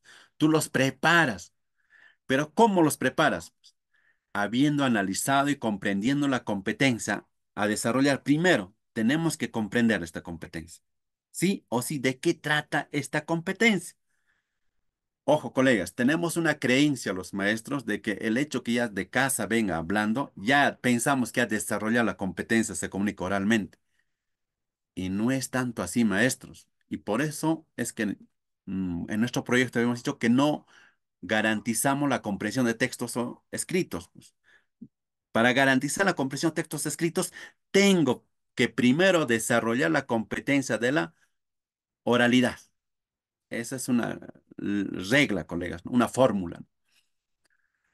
Entonces, identifico las actuaciones, colegas. Lo voy a sombrear con negrito aquí. Recupera información explícita en los textos orales. Otra actuación, colegas, aquí. Pero no solamente recupera información de textos orales que escucha. Mira, bien claro dice, recupera información explícita de los textos orales. Pero, profesor, ¿y qué es información explícita? Es información que es en textos escritos lo que se ve. En textos orales es lo que no necesito yo inferir. Comprendo con facilidad esa información. ¿no? ¿Qué más? Y que presentan expresiones. Recupera información explícita en textos orales. Recupera otra, otra, otra actuación sería selecciona datos específicos que están presentes en expresiones con sentido figurado. Identifica Mira, otro, otro. Provecho con la festividad, seguramente alguna festividad están los colegas. Bueno, seguimos aquí, seleccionando datos específicos que presentan expresiones con sentido figurado. Selecciona también vocabulario que incluye sinónimos, términos propios del campo del saber. Es distinto, esto lo vamos a ver ahorita, colegas. Otra actuación de esta capacidad nada más, de la primera capacidad identifica, colegas. ¿ah? Estamos en, obtiene información nada más de color amarillito. Otra actuación, explica el tema del propósito comunicativo. Eh,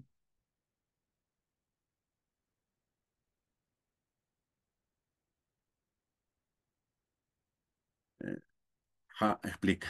Deduce, esto ya le pertenece a la segunda capacidad, digo, a la segunda capacidad, claro. Deduce esta actuación algunas relaciones lógicas entre las ideas del texto oral como las secuencias temporales. Si esta es decir, es un texto englobante aquí, colegas. Si lo partimos parte por eso, lo, vamos a particionar, vamos al análisis, y el análisis quiere decir que este todo lo vamos a partir en partes. Deduce algunas relaciones entre ideas del texto oral. Deduce secuencias temporales. Deduce causa-efecto. Deduce semejanza-diferencia así como características, deduce características de personas, deduce personajes, características de personajes, deduce las características de los animales, deduce las características de los objetos, deduce hechos y lugares, deduce el significado de palabras según el contexto y expresiones, con sentido figurado, dichos populares, refranes, moralejas, a partir de la información explícita e implícita del texto. Si te das cuenta, maestro, miren cómo el deduce está relacionado con las demás ideas. Esta acción, esta actuación es bien potente, maestros. Bueno, habiendo explicado que, colegas, al interior de nuestros desempeños están las actuaciones, ahora voy a hacer el ejercicio, colegas, la modelación de cómo nosotros vamos a primero identificar las actuaciones para luego formular los criterios de evaluación. Entonces, habiendo formulado, colega, perdón un ratito, voy a dejar de compartir. Voy a hacer aquí una maniobra, colegas.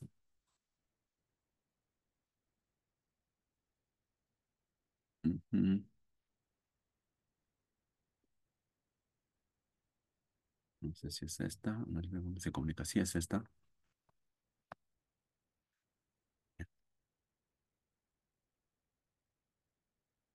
Ahora sí. Perdón, me, disculpan, colegas. Ahora sí, a ver.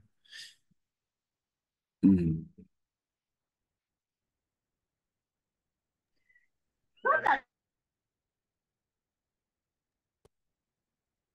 ¿Se visualiza, colegas? Sí. Sí, sí. Mm, estoy compartiendo mi... No, no está visualizando, solamente está visualizando, identificamos actuaciones, ¿no es así? Exacto. Voy a compartir estos dos. Quiero compartir. Mm, ya, voy a hacer uso de posición screen. Ahora sí.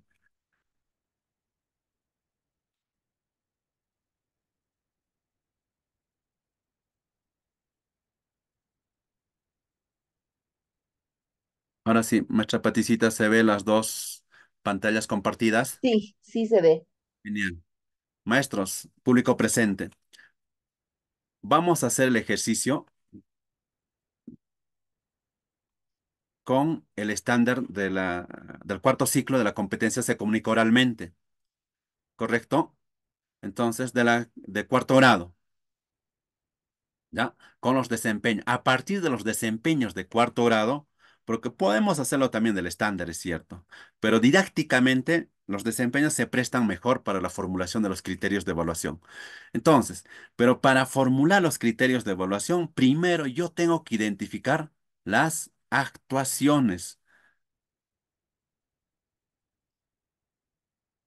¿Qué con esta pregunta? ¿Qué actuaciones se espera ver cuando se moviliza la capacidad? Obtiene información. ¿De dónde voy a sacar esas actuaciones, maestras, maestros? ¿De dónde voy a, dónde voy a buscarlas? Por favor, en el chat quisiera leer los colegas.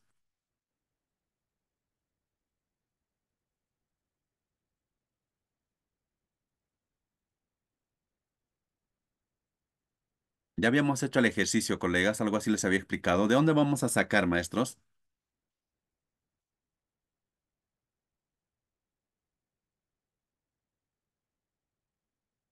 Gracias, Macha Marleni. Gracias, señor Asus, de los desempeños. Así es. En los y esto, esto es para todas las competencias, maestros. ¿Eh? Porque estas actuaciones yo tengo que ver en mis niños.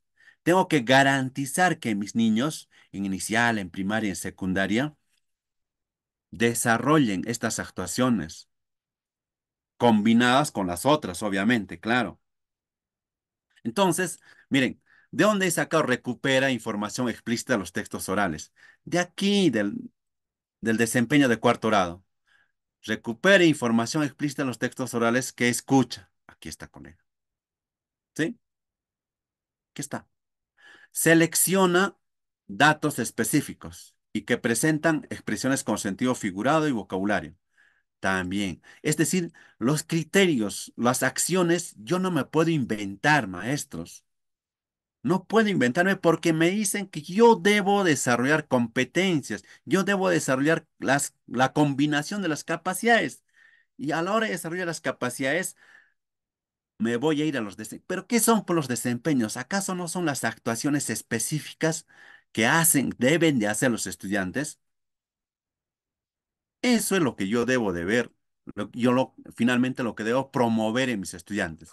Es decir, que recupere información explícita, que seleccione datos específicos en lo que escucha, en las expresiones que escucha, que explique el tema, el propósito comunicativo, que explique el tema, el propósito comunicativo de los personajes, que explique el tema de las personas, que distinga lo relevante de lo complementario. En estamos hablando netamente de la oralidad. Eso mismo hacemos el ejercicio, colegas, con, las, con el siguiente desempeño. También sacamos esas actuaciones del desempeño de cuarto grado. Deduce algunas relaciones lógicas entre las ideas del texto oral a partir de la información explícita e implícita del texto. Mira, esta es potente, esta actuación. Que nuestro estudiante, si yo digo, no, mi niño ya sabe inferir textos orales, yo debo de ver esto. Esto es lo que me debe demostrar en sus actuaciones, que mi niño de, cuarto grado debe deducir algunas relaciones lógicas entre las ideas que está hablando el ponente, a partir de la información explícita e implícita. Es decir, de aquello que es, es fácil de entender y aquello que voy a tener que deducir de lo implícito. Está. Deduce algunas relaciones lógicas entre las secuencias a partir de la información explícita e implícita de los textos temporales, a partir de la información explícita e implícita del texto. ¿Qué quiere decir esto? Cuando tú, a ver, las señoras mm, presentes aquí, las señoras damas, antes de que aparezca Internet, antes solamente teníamos el televisor como una fuente de información y la radio también, claro. Me voy a remitir al, al televisor, ¿no? que es audio y video. Habían, habían programas de cocina. No sé si ustedes a Don Pedrito, no sé si lo recuerdan. Tenía una expresioncita que decía cusí, cusá. ¿correcto? Entonces, este señor mencionaba pre- enseñaba cómo pre- preparar los diferentes potajes o platos de comida, como el oyuquito con charqui, yo qué sé, el- hasta un lomo saltado, un arroz con huevo ya. Pero lo decía él, tú no podías, no te daba pues la opción de que te enviaba la, la receta, el texto instructivo. Tú tenías que deducir las, algunas, las relaciones lógicas entre las secuencias que él estaba narrando. Primero hacemos, yo qué sé, hacemos hervir, en caso de un lomo saltado, graneamos el arroz, los secretos quedaba ahí. Seguidamente, eh, una vez que hemos graneado, ya, bueno, escurrimos el agua y dejamos granear finalmente con un poco de aceite. Palomo saltado, tira, picamos la papa en eh, en, en, este, largas, ¿no? Las, igual freímos, luego preparamos el aderezo, aderezamos la carne o lo- en tiras, no sé, ya. Pero hay una, hay una secuencia temporal. Entonces, como oyente, nosotros teníamos que estar muy atentos para deducir esas, esas relaciones lógicas entre las secuencias, a partir de la información que él nos daba. y los, en los textos temporales. Y los textos instructivos se prestan a eso, a los textos temporales. Los textos narrativos también. En el caso que haya luego, después, finalmente, pero eh, netamente oral, maestros. A partir de la información explícita. Deduce algunas relaciones lógicas entre causa y efecto. ¿Cuándo, en qué tipo de texto vemos esto, por ejemplo? En oralidad. cuando hay una exposición sobre el medio ambiente que tanto aquí nos han hablado seguramente, aquí, por ejemplo, de- del daño que hacemos, por ejemplo, cuando hay estos festivales, por ejemplo, ya de Rach, que maestra Patricia una vez nos trajo unas fotografías impactantes, todos promovemos la cultura, el folclore, la música, la comida, nuestra tradición, intercambio comercial, tantas actividades que hacemos. Excelente. Y al final del día, al anochecer, al atardecer, ¿cómo terminó el parque arqueológico o la explanada de Rachchi, para ser más específico? ¿Mm? ¿Acaso no ha terminado en un lugar lleno de plásticos, botellas descartables, de tecnopor, es decir, todo tanto así que, miren, esa relación entre causa y efecto, ¿qué ocasiona pues ello? ¿Y cuáles son las causas? ¿Por qué si vamos nosotros a promover a la cultura, a ser partícipes de esta manifestación cultural que tanto nosotros, pero por otra parte, cómo nos relacionamos con nuestro espacio ah, geográfico.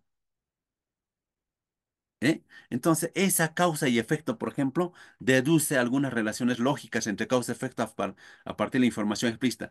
Es un noticiero que lo ha dado un- un ambientalista, un biólogo o simplemente el hombre de prensa.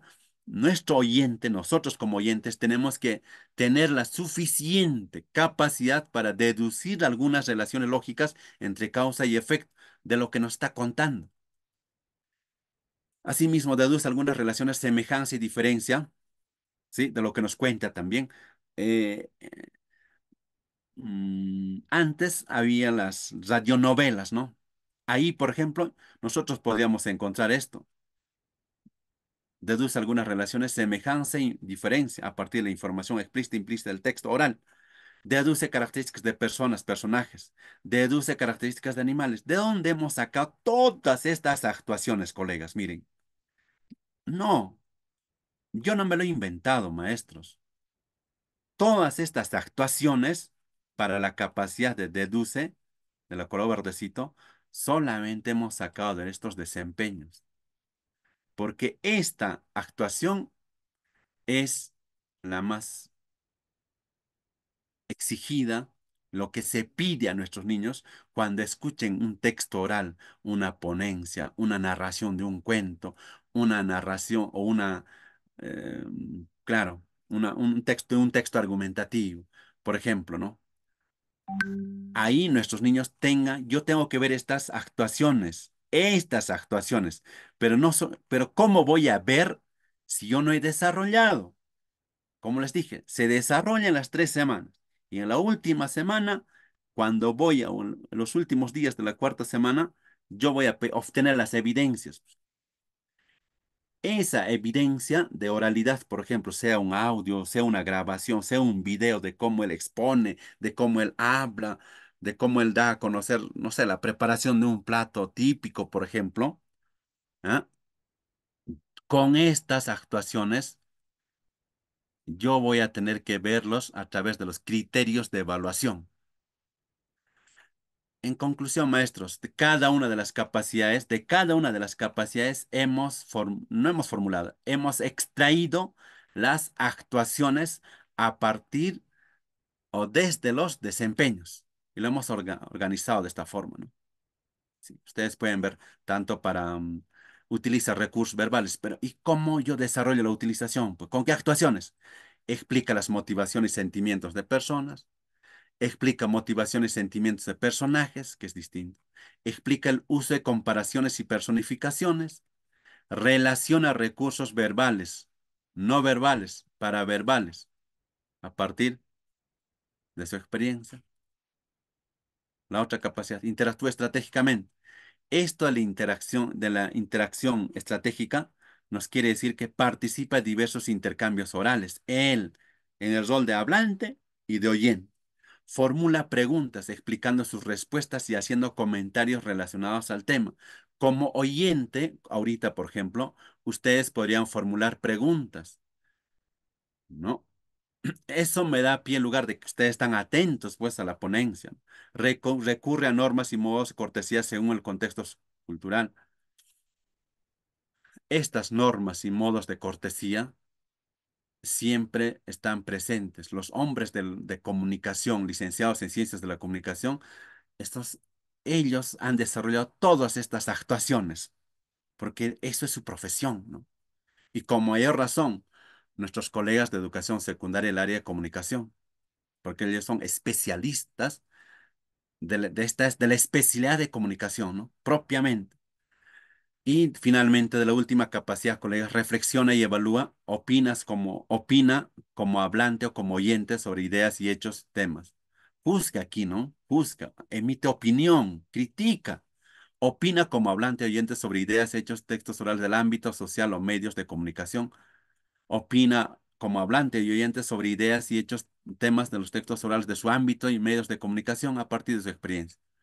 Entonces, estas actuaciones, maestros, es lo que yo debo promover, lo que yo debo desarrollar estratégicamente que se combinen en una actividad de aprendizaje, porque así estaría desarrollando el enfoque por competencias.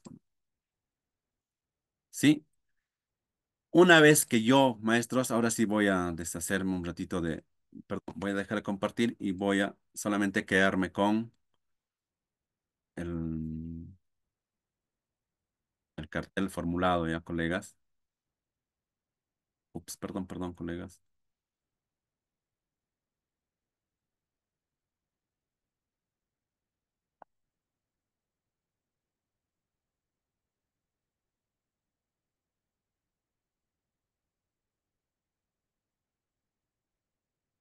Mm.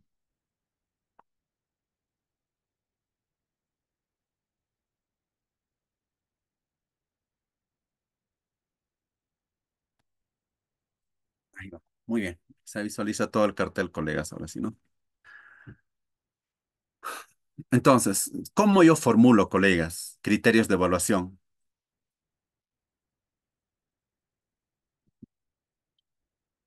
Yo no puedo formular de frente ahorita los criterios de evaluación si es que yo no sé qué situación significativa estaré desarrollando, pues, maestros, o voy a desarrollar. En, eh, estoy desarrollando, por ejemplo, en el mes de agosto, no lo sé, o en, en el mes de septiembre. ¿Qué voy a, qué situación? Es decir, los criterios de evaluación están amarrados estrictamente a las situaciones, a los productos, a las evidencias que yo quiero obtener producto de esa situación significativa. ¿no? Y está relacionado también estrechamente a qué tipo de texto oral voy a hacer, voy a desarrollar. De repente un cuento. O si voy a hacer, por ejemplo, de la situación significativa que tiene que ver con respetemos a nuestra Pachamama.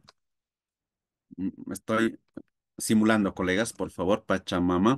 Si esa es mi situación significativa, mi título de mi situación significativa, ya entiendo que mi situación en la descripción, en mi contexto, en mi reto y en, y en, las actividades con las que voy a desarrollar, en la competencia nada más de oralidad, voy a hacer a lo mejor, voy a obtener una evidencia de un audio, evidencia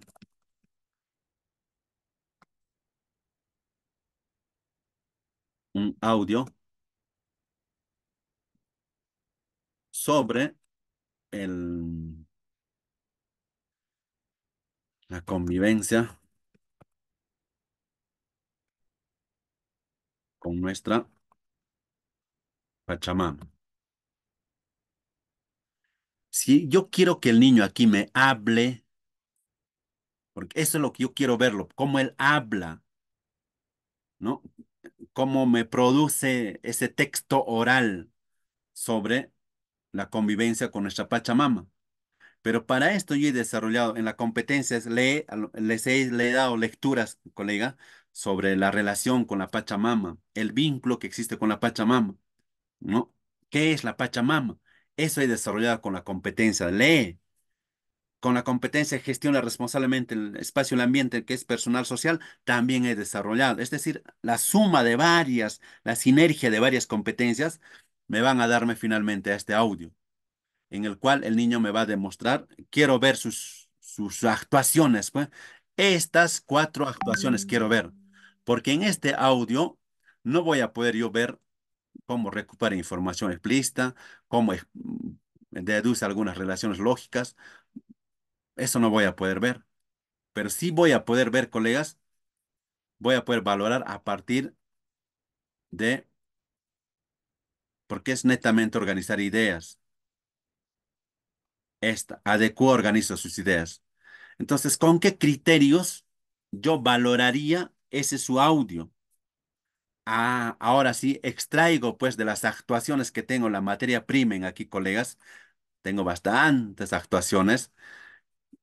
Puedo sacar dos, uno o dos, colegas. Con esos criterios voy a valorar esa su evidencia. Pero antes de valorar, yo lo he preparado, pues, mi estudiante. Yo he sido entrenadora. Y a la hora de evaluar, yo soy juez porque los criterios de evaluación sirven para el juicio de valor, así nos dice, son el referente específico de lo que debe de saber hacer el estudiante. Eso está en la 094, colegas. Eso lo dice así, y se entiende, y tiene lógica, ¿no? Entonces, yo puedo decir, colegas, en lo que es ADQ organiza, por ejemplo, esto, lo primero. Adecua, mi, mi, mi criterio, colegas, adecua su texto o su discurso, ya puedo decir de frente su discurso de la Pachamama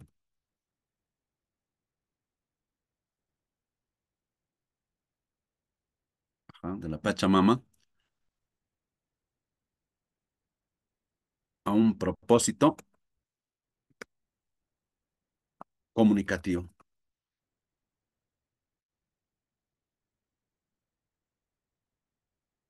Si ustedes se dan cuenta, colegas, aquí está la habilidad que es la actuación, que aquí lo, he sacado pues, de la actuación, colega. La habilidad, su discurso, la Pachamama, el contexto, colegas, porque me va a hablar de la Pachamama, del respeto a la Pachamama. El discurso del respeto a la Pachamama, si puedo ponerle aquí, ¿no? Respeto a la Pachamama. A un propósito comunicativo. ¿Para qué? Me está hablando, me está, me está haciendo este discurso. ¿Qué más? ¿Qué más yo, con qué criterio más voy a valorar eso, evidencia, el audio? Que este niño, a esto le puedo poner yo, colegas, se me ocurre, colegas, no sé, ahorita estoy pensando, pero esto va a depender de la necesidad de aprendizaje en la, en la competencia oral que yo he determinado antes de la anterior experiencia. Ojo, colegas, eso es fundamental estos criterios yo voy a seleccionar estas, en base a las necesidades que yo he encontrado en la experiencia anterior. Ahora, pues yo quiero potencializar, yo quiero revertir esas, esas necesidades que tienen, quiero trabajarlas para que ya no sea una necesidad, porque de eso adolece mi estudiante. Puedo decir, ¿no? Distingue, adecua, ya lo dije, distingue el registro formal e informal del recurrente de su experiencia, expresa oralmente ideas y emociones en torno a un tema. Eso quiero ver. Esto yo quiero ver en mi estudiante. Perdón, no lo pegué. Expresa oralmente ideas y emociones en torno a un tema. ¿Y cuál había sido el tema, colegas? En torno al, al tema, a un tema, al tema de la Pachamama.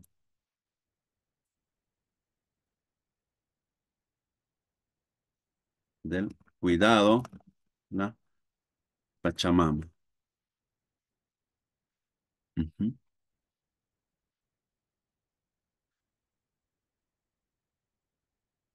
Quisiera ver esto también, colegas.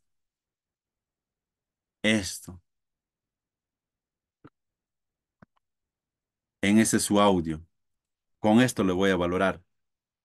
Establece relaciones lógicas entre ideas, en especial causa, efecto y consecuencia, a través de algunos conectores. Él va a hablar de los conectores, ¿no? Después, luego, finalmente, conectores temporales, por ejemplo. Pero mm, si puedo hablar de causa y efecto, también a quien establece relaciones lógicas entre las ideas en especial, en causa y efecto a través de algunos referentes conectores, al, en su discurso, en su discurso del tema de Pachamama. Siempre me tengo que enmarcar en la, en la experiencia, ¿no? Digo, en la, en la situación significativa, en lo que me está enmarcando. Ya, me quedo con estos tres criterios que yo quiero ver en la evidencia. Pero nuevamente les dije, colegas, la idea no es, vas a traerme un audio, se graban un audio sobre la convivencia en la Pachamama, el respeto con la Pachamama. Pero si yo no lo he preparado a mi estudiante, yo no lo he entrenado a mi estudiante, colegas, ¿cómo me va, cómo yo voy a ver esta actuación? ¿Con qué moral yo le exigiría estas actuaciones? No tiene sentido. Por eso que es importantísimo, colegas, la formulación de los criterios de evaluación antes en la planificación. Por eso se dice, pues, que tenemos que comunicar en la sesión de aprendizaje o en la actividad de aprendizaje. Y eso es lo que yo voy a exigir, porque al final eso es lo que yo le voy a, con eso yo le voy a valorar, con estos criterios, ¿no? Y seguimos, colegas. Explica motivaciones. En ese su discurso, en ese su, su audio, quiero ver que me utilice comparaciones, personificaciones. Eso quiero ver, colegas. Explique el uso de comparaciones y personificaciones en su discurso sobre la cuidado de la Pachamama.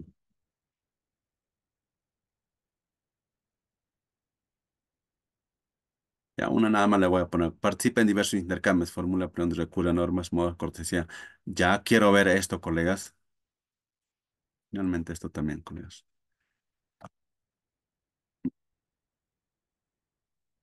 Esto lo vería siempre y cuando que él se dirija, ¿no? Interactúe con otros, con sus pares. Pero no voy a poder porque es un audio nada más. Entonces me quedo con esta, colegas.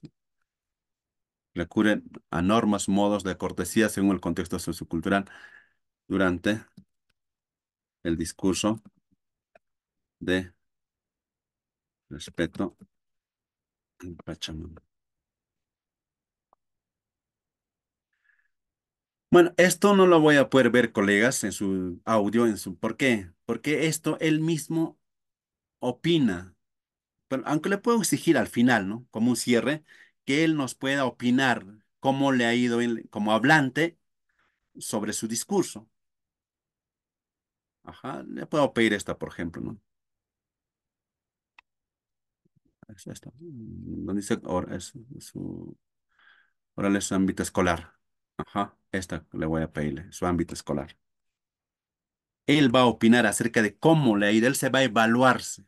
Así como en escritura, en lectura tenemos una fichita de evaluación, he identificado el título, he identificado la idea central, sí, no, igual también aquí en lo que es oralidad. Al final puede dar su opinión acerca de cómo él se ha sentido con el discurso, es decir, cómo opina como, en este caso, no como oyente, como hablante sobre ideas, hechos y temas de los textos orales. En este caso, del discurso.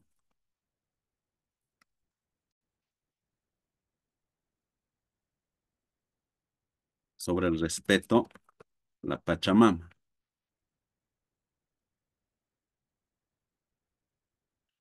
A partir de su experiencia y el contexto. A partir, quedo con eso. Todos estos criterios, colegas, que hemos formulado a partir de las actuaciones. ¿Y por qué, profesor, no has hecho de las dos primeras? ¿Por qué no lo hice? ¿Por qué creen que no lo hice, colegas? Tanto obtiene, infiere. Porque estas dos capacidades, colegas, esas son actuaciones cuando el estudiante está como oyente, cuando pertenece eh, en el auditorium. Ahorita, por ejemplo, colegas, ustedes son, estarán obteniendo información del texto oral, que están en el otro lado del, del monitor, ¿no? Estarán infiriendo, interpretando información, estarán haciendo sinapsis o estarán diciendo, ¿qué está hablando el profesor Américo? A ver, estarán infiriendo, interpretando como oyentes. Pero como hablantes, yo estoy desarrollando estas capacidades, estoy movilizando estas capacidades, estoy adecuando, organizando mis ideas, estoy utilizando, claro, estoy haciendo uso también de los, de, en este caso, de, del Word, ¿no? De, un PPT, de una diapositiva. Pero estoy interactuando también con ellas, con ustedes, ¿no? Por eso es que solamente para estas cuatro capacidades hemos formulado sus criterios, porque yo solamente quiero ver al chico cómo habla, en, como, como discursante, porque los dos primeros son como oyente y los cuatro últimos son como discursante. Creo que hasta ahí estaríamos, maestra Patricia. No sé si ahora hay la Muchas gracias, preguntas. profesor Américo. Si hay alguna pregunta, este, la sala y el- los micrófonos están abiertos, colegas, o el chat. En el chat solamente había este, la pregunta sobre lo que es la escritura pentavocal, este, trivocálica del quechua y creo que ya no los aclaró el profesor Américo. Maestras, maestros, señores participantes, por favor, vuestras interrogantes, vuestras dudas, vuestras acotaciones, sugerencias, recomendaciones. Asimismo, también, este, eh, bueno, hemos, uh, hemos estado colocando el link de asistencia. En unos minutos estamos colocando el link de la encuesta.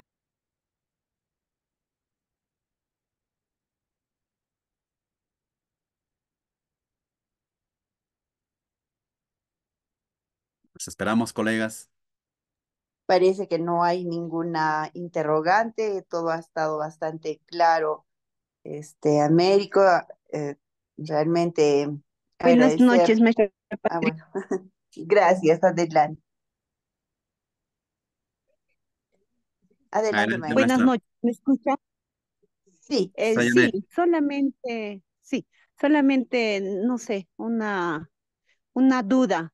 Según lo que usted nos dice que un desempeño es una actuación y aparte también nos dice de que no podemos agregar más desempeños a lo que ya hay en el currículum o es que lo entendí mal.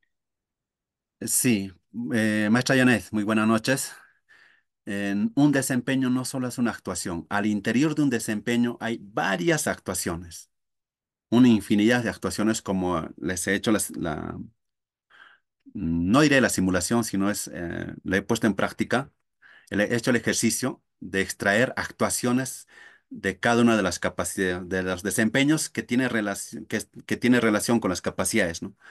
Ahora, ¿Por qué se dice Currículo Nacional de Educación Básica? ¿Por qué se, este currículo? Porque es, es lo mínimo que nosotros podemos lograr. Si nosotros desarrollamos estas actuaciones, estas capacidades y estas actuaciones, si garantizamos, nosotros podríamos ir agregando otras, ¿no? Pero lo mínimo que tendríamos que desarrollar son estas, que tienen estrecha relación también con el estándar. Si no he desarrollado todavía estas actuaciones, mm, mm, ¿habría la necesidad de ir formulando otras? Lo primero que yo tendría que hacer es garantizar el desarrollo de estas capacidades y de, sus, de, estas, ah, de estas actuaciones muy específicas, ojo, eso siempre lo digo, colegas.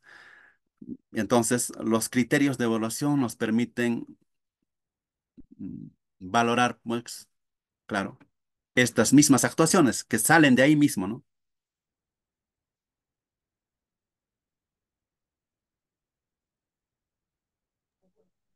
Eh, sí, maestro. Este, según el currículum nos dice, ¿no? Que los desempeños son descripciones. Y Descripciones aparte de eso, claro, Aparte de eso también, ¿no? No, eh, eh, había un autor donde nos decía de que estos, estos desempeños solamente son como ejemplos para que nosotros podamos ah, de ahí, ¿no? Formular nuestros criterios de evaluación, porque sabemos muy bien que los criterios de evaluación deben de estar ah, formulados en, en, en- forma clara y precisa, de tal forma que los estudiantes lo puedan entender, porque si nosotros no cogemos todo ese desempeño que está ahí, es muy amplio. Entonces nosotros podríamos, ¿no? Ahí, eh, este, formular un criterio ya en forma, como quien dice, corta, ¿no?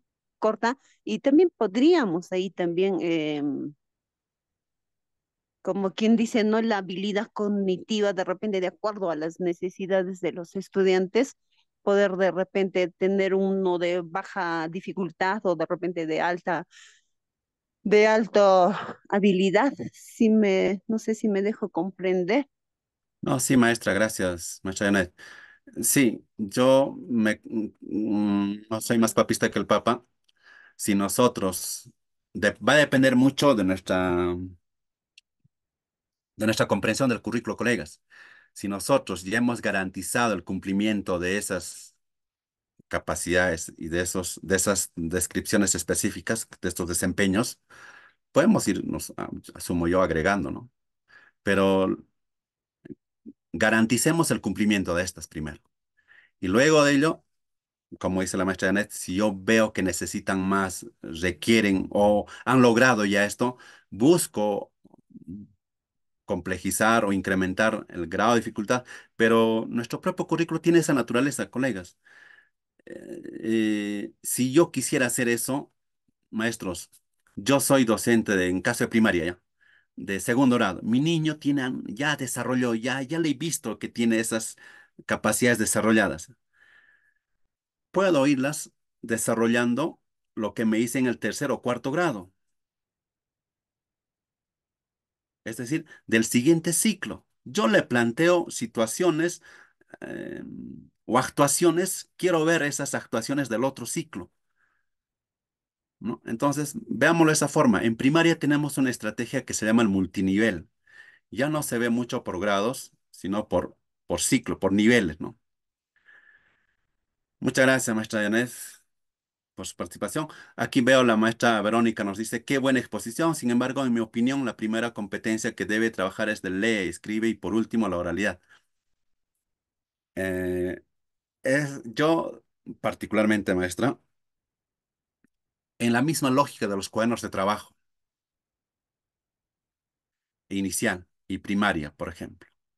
Las actividades iniciales en, en la unidad 1 siempre parten de situaciones de diálogo, de oralidad. Luego, lectura, finalmente, escritura.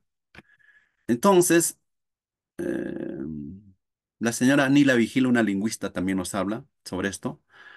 Tenemos que garantizar el desarrollo de la competencia de la oralidad. nuevamente lo digo, lo expuse al inicio de mi exposición, de la, la ruta de la, del propio currículo nacional en lo que es del área de comunicación. Inicia por comunicación, por, se comunica oralmente, luego lee diversos tipos y finalmente escribe. No digo, maestros, de que eh, si siempre tendría que ir así, ¿no? Pero tenemos que garantizar la primera competencia. No podemos dar por hecho de que el niño ya sabe hablar, comunica, es sus necesidades, sus preferencias, sus gustos, pero hemos analizado prácticamente esta competencia, estas seis capacidades. Si yo soy, yo veo en mis niños que han desarrollado estas seis capacidades, genial, maestros. He visto que se acercan al estándar. Solo así yo tendría, si es que han logrado el estándar, el nivel esperado, ahí tendría que colocarle, colegas, utilizar el calificativo de la A. Eso también lo hice la 094. No puedo yo utilizar. ¿Cuándo se utiliza la AD, colegas? El caso de si es que he logrado, ¿no? Cuando por encima del, si es un niño de cuarto grado, su discurso, su forma de hablar, su forma de expresar, hace uso de recursos expresivos, de recursos verbales, paraverbales, eh, organiza sus ideas de manera coherente y cohesionada en un discurso, expone una brillante, hace una brillante exposición, pero como si fuera un niño de sexto, quinto grado. ¿No? Solo en ese caso puedo utilizar la AD, pero evidencia manda, colegas. Tengo que tener la evidencia, en este caso, la grabación, el audio o el registro de ese discurso, de esa participación de mi estudiante. A ver, una experiencia de que mi persona ha tenido, por ejemplo, como jurado de este debate de, que se ha llevado en el Colegio Pumacagua, he podido evidenciar en, directamente cómo nuestros niños, nuestras estudiantes del colegio de, educación secundaria, han desarrollado maestras, maestros. Recuerdo muy bien a las niñas, a las estudiantes del Colegio Japón, con estas mismas, estas mismas capacidades que les acabo de escribir, nos han dado, ha, movilizado. A la vez, también las dos primeras capacidades de obtener información y de inferencia. Porque e, en el debate sí se moviliza estas seis capacidades, porque escuchas a la contraparte, luego tú argumentas, pero para argumentar has tenido que obtener información. Para, dar una, para preguntar has tenido que haber deducido, obtenido información. Luego reorganizas tus ideas, tu información, utilizas tus recursos, tu expresión, tus manos, tus gestos, silencios, pausas. Es decir, el debate es un hermoso espacio y oportunidad para desarrollar esta competencia de se comunica oralmente. Y nadie dice que siempre deba de ser en secundaria. Podemos hacerlo en el aula y creo que de eso el Colegio Julio Alberto Ponce, mm, porque también me invitaron como jurado, lo viene haciendo, colegas? Al igual que el Colegio Humacao, Inmaculada, la eh, Bolivariano, eh, Emancipación Americana. Hemos visto a los estudiantes cómo movilizan estas capacidades. Muy bien. No sé si hay algunas interrogantes más, colegas. Gracias, Américo. Parece que ya no hay más interrogantes. Eh, ya nos has despejado las dudas que tenían los docentes y excelente exposición la de hoy día. Colegas, les estoy este, mm, poniendo la encuesta, por favor, eh, pueden llenarla. Bien, Américo, muchísimas gracias ah, por esta exposición tan excelente, por habernos ah, abierto bastante el espacio en lo que es la lengua originaria, igualmente eh, la competencia de la, oralidad. Muchas veces nosotros como profesores de otras especialidades no entendemos mucho lo que es eh, la competencia de la oralidad o de escribe textos y este, vemos que muchas, muchas de las ah, actuaciones que nos has hecho ver el día de hoy nosotros también eh, lo podemos utilizar en nuestras sesiones de aprendizaje, en nuestras, este, experiencias de aprendizaje y creo que es bastante importante el desarrollar pues este tipo de eh, talleres, sobre todo con lo que eh, son estas competencias que son prácticamente la base para desarrollar otras competencias, ¿no? Son las competencias habilitadoras del currículo nacional y realmente agradecerte mucho la participación del día de hoy. Eh, recuerden, colegas, ustedes que el día este, 6 de septiembre tenemos la siguiente sesión. Los esperamos el día viernes 6 de septiembre y eh, seguramente vamos a estar uh, atentos también a la presentación de vuestros PAIs, que ya se les ha enviado el link para que lo puedan subir. Tenemos hasta el 30 de septiembre para eh, acabar de subir los proyectos educativos ambientales integrados, en los que seguramente van a poner algunas sesiones con las competencias que hemos ido trabajando el día de hoy. Igualmente agradecer los criterios de evaluación que se han ido haciendo, ¿no? Creo que es algo bastante importante porque muchas veces los maestros oh, este, es, un cuello de botella para los maestros el hacer pues, los criterios de evaluación, pero ahora hemos visto que son totalmente sencillos de realizar. Este, lo único que tenemos que tener es el conocimiento disciplinar de cada una de nuestras competencias, cómo van funcionando cada una de ellas, qué actuaciones tiene cada uno de los desempeños e ir pues ahí este, eh, poniendo todos los elementos de un criterio de evaluación. Muchas gracias, Américo. Muchas gracias a todos los participantes. Este, cualquier cosa les estamos indicando por echar. Tus palabras finales, Américo. Muy bien, muchísimas gracias, maestra Patricia. Muchísimas gracias al público oyente. Sé que hay eh, profesionales también de otras mm, profesiones, voy a decir, tanto de, sé que hay ingenieros ambientalistas, biólogos, economistas, también lo mejor. Eh, mil disculpas si es que no, no he podido de repente poder estar a su expectativa de ellos también, pero este, eh, entendiendo que nuestro público objetivo, nuestro público mayor también para llevar esta especialización y este diplomado para que aterrice es justamente nuestros estudiantes, ¿no? Entonces, ahí lo has aclarado muy bien, maestra Patricia. Efectivamente, esta competen estas competencias son habilitadoras y transversales para el resto de las competencias, como la competencia gestiona responsablemente el espacio y el ambiente. Necesitamos desarrollar esta competencia. Sé que el tiempo es cortísimo porque también mi meta era desarrollar esta, la otra competencia de lectura, pero bueno, espero que haya otra oportunidad. netamente relacionado a, a situaciones ambientales, a situaciones de nuestra vivencia, ¿no? De eso creo que se trata, maestros. Entonces, muy agradecido y ya lo dijiste, maestra Patricia, la formulación de los criterios de evaluación es una tarea que nos atañe a nosotros. Nosotros, los docentes, debemos elaborar, como en varias ponencias que les decía, no dice que nosotros tenemos que adquirir o comprar las colegas. Nosotros tenemos que elaborar dependiendo a las necesidades o dependiendo a la, a la evidencia que yo quiero valorar. ¿Sí? Ese es el camino y en eso estamos construyendo también aprendizajes, construyendo, entendiendo nuestro currículo nacional también, colegas. Muchísimas gracias. Ya para en añay chakusa, añay oskutikama, panaykuna turaykuna. Añay. Muchas gracias a ti, Américo.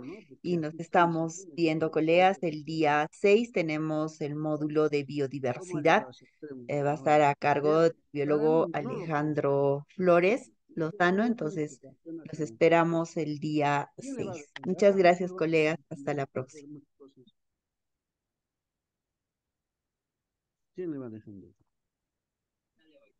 Sí, ella misma no, no va, no, no nos va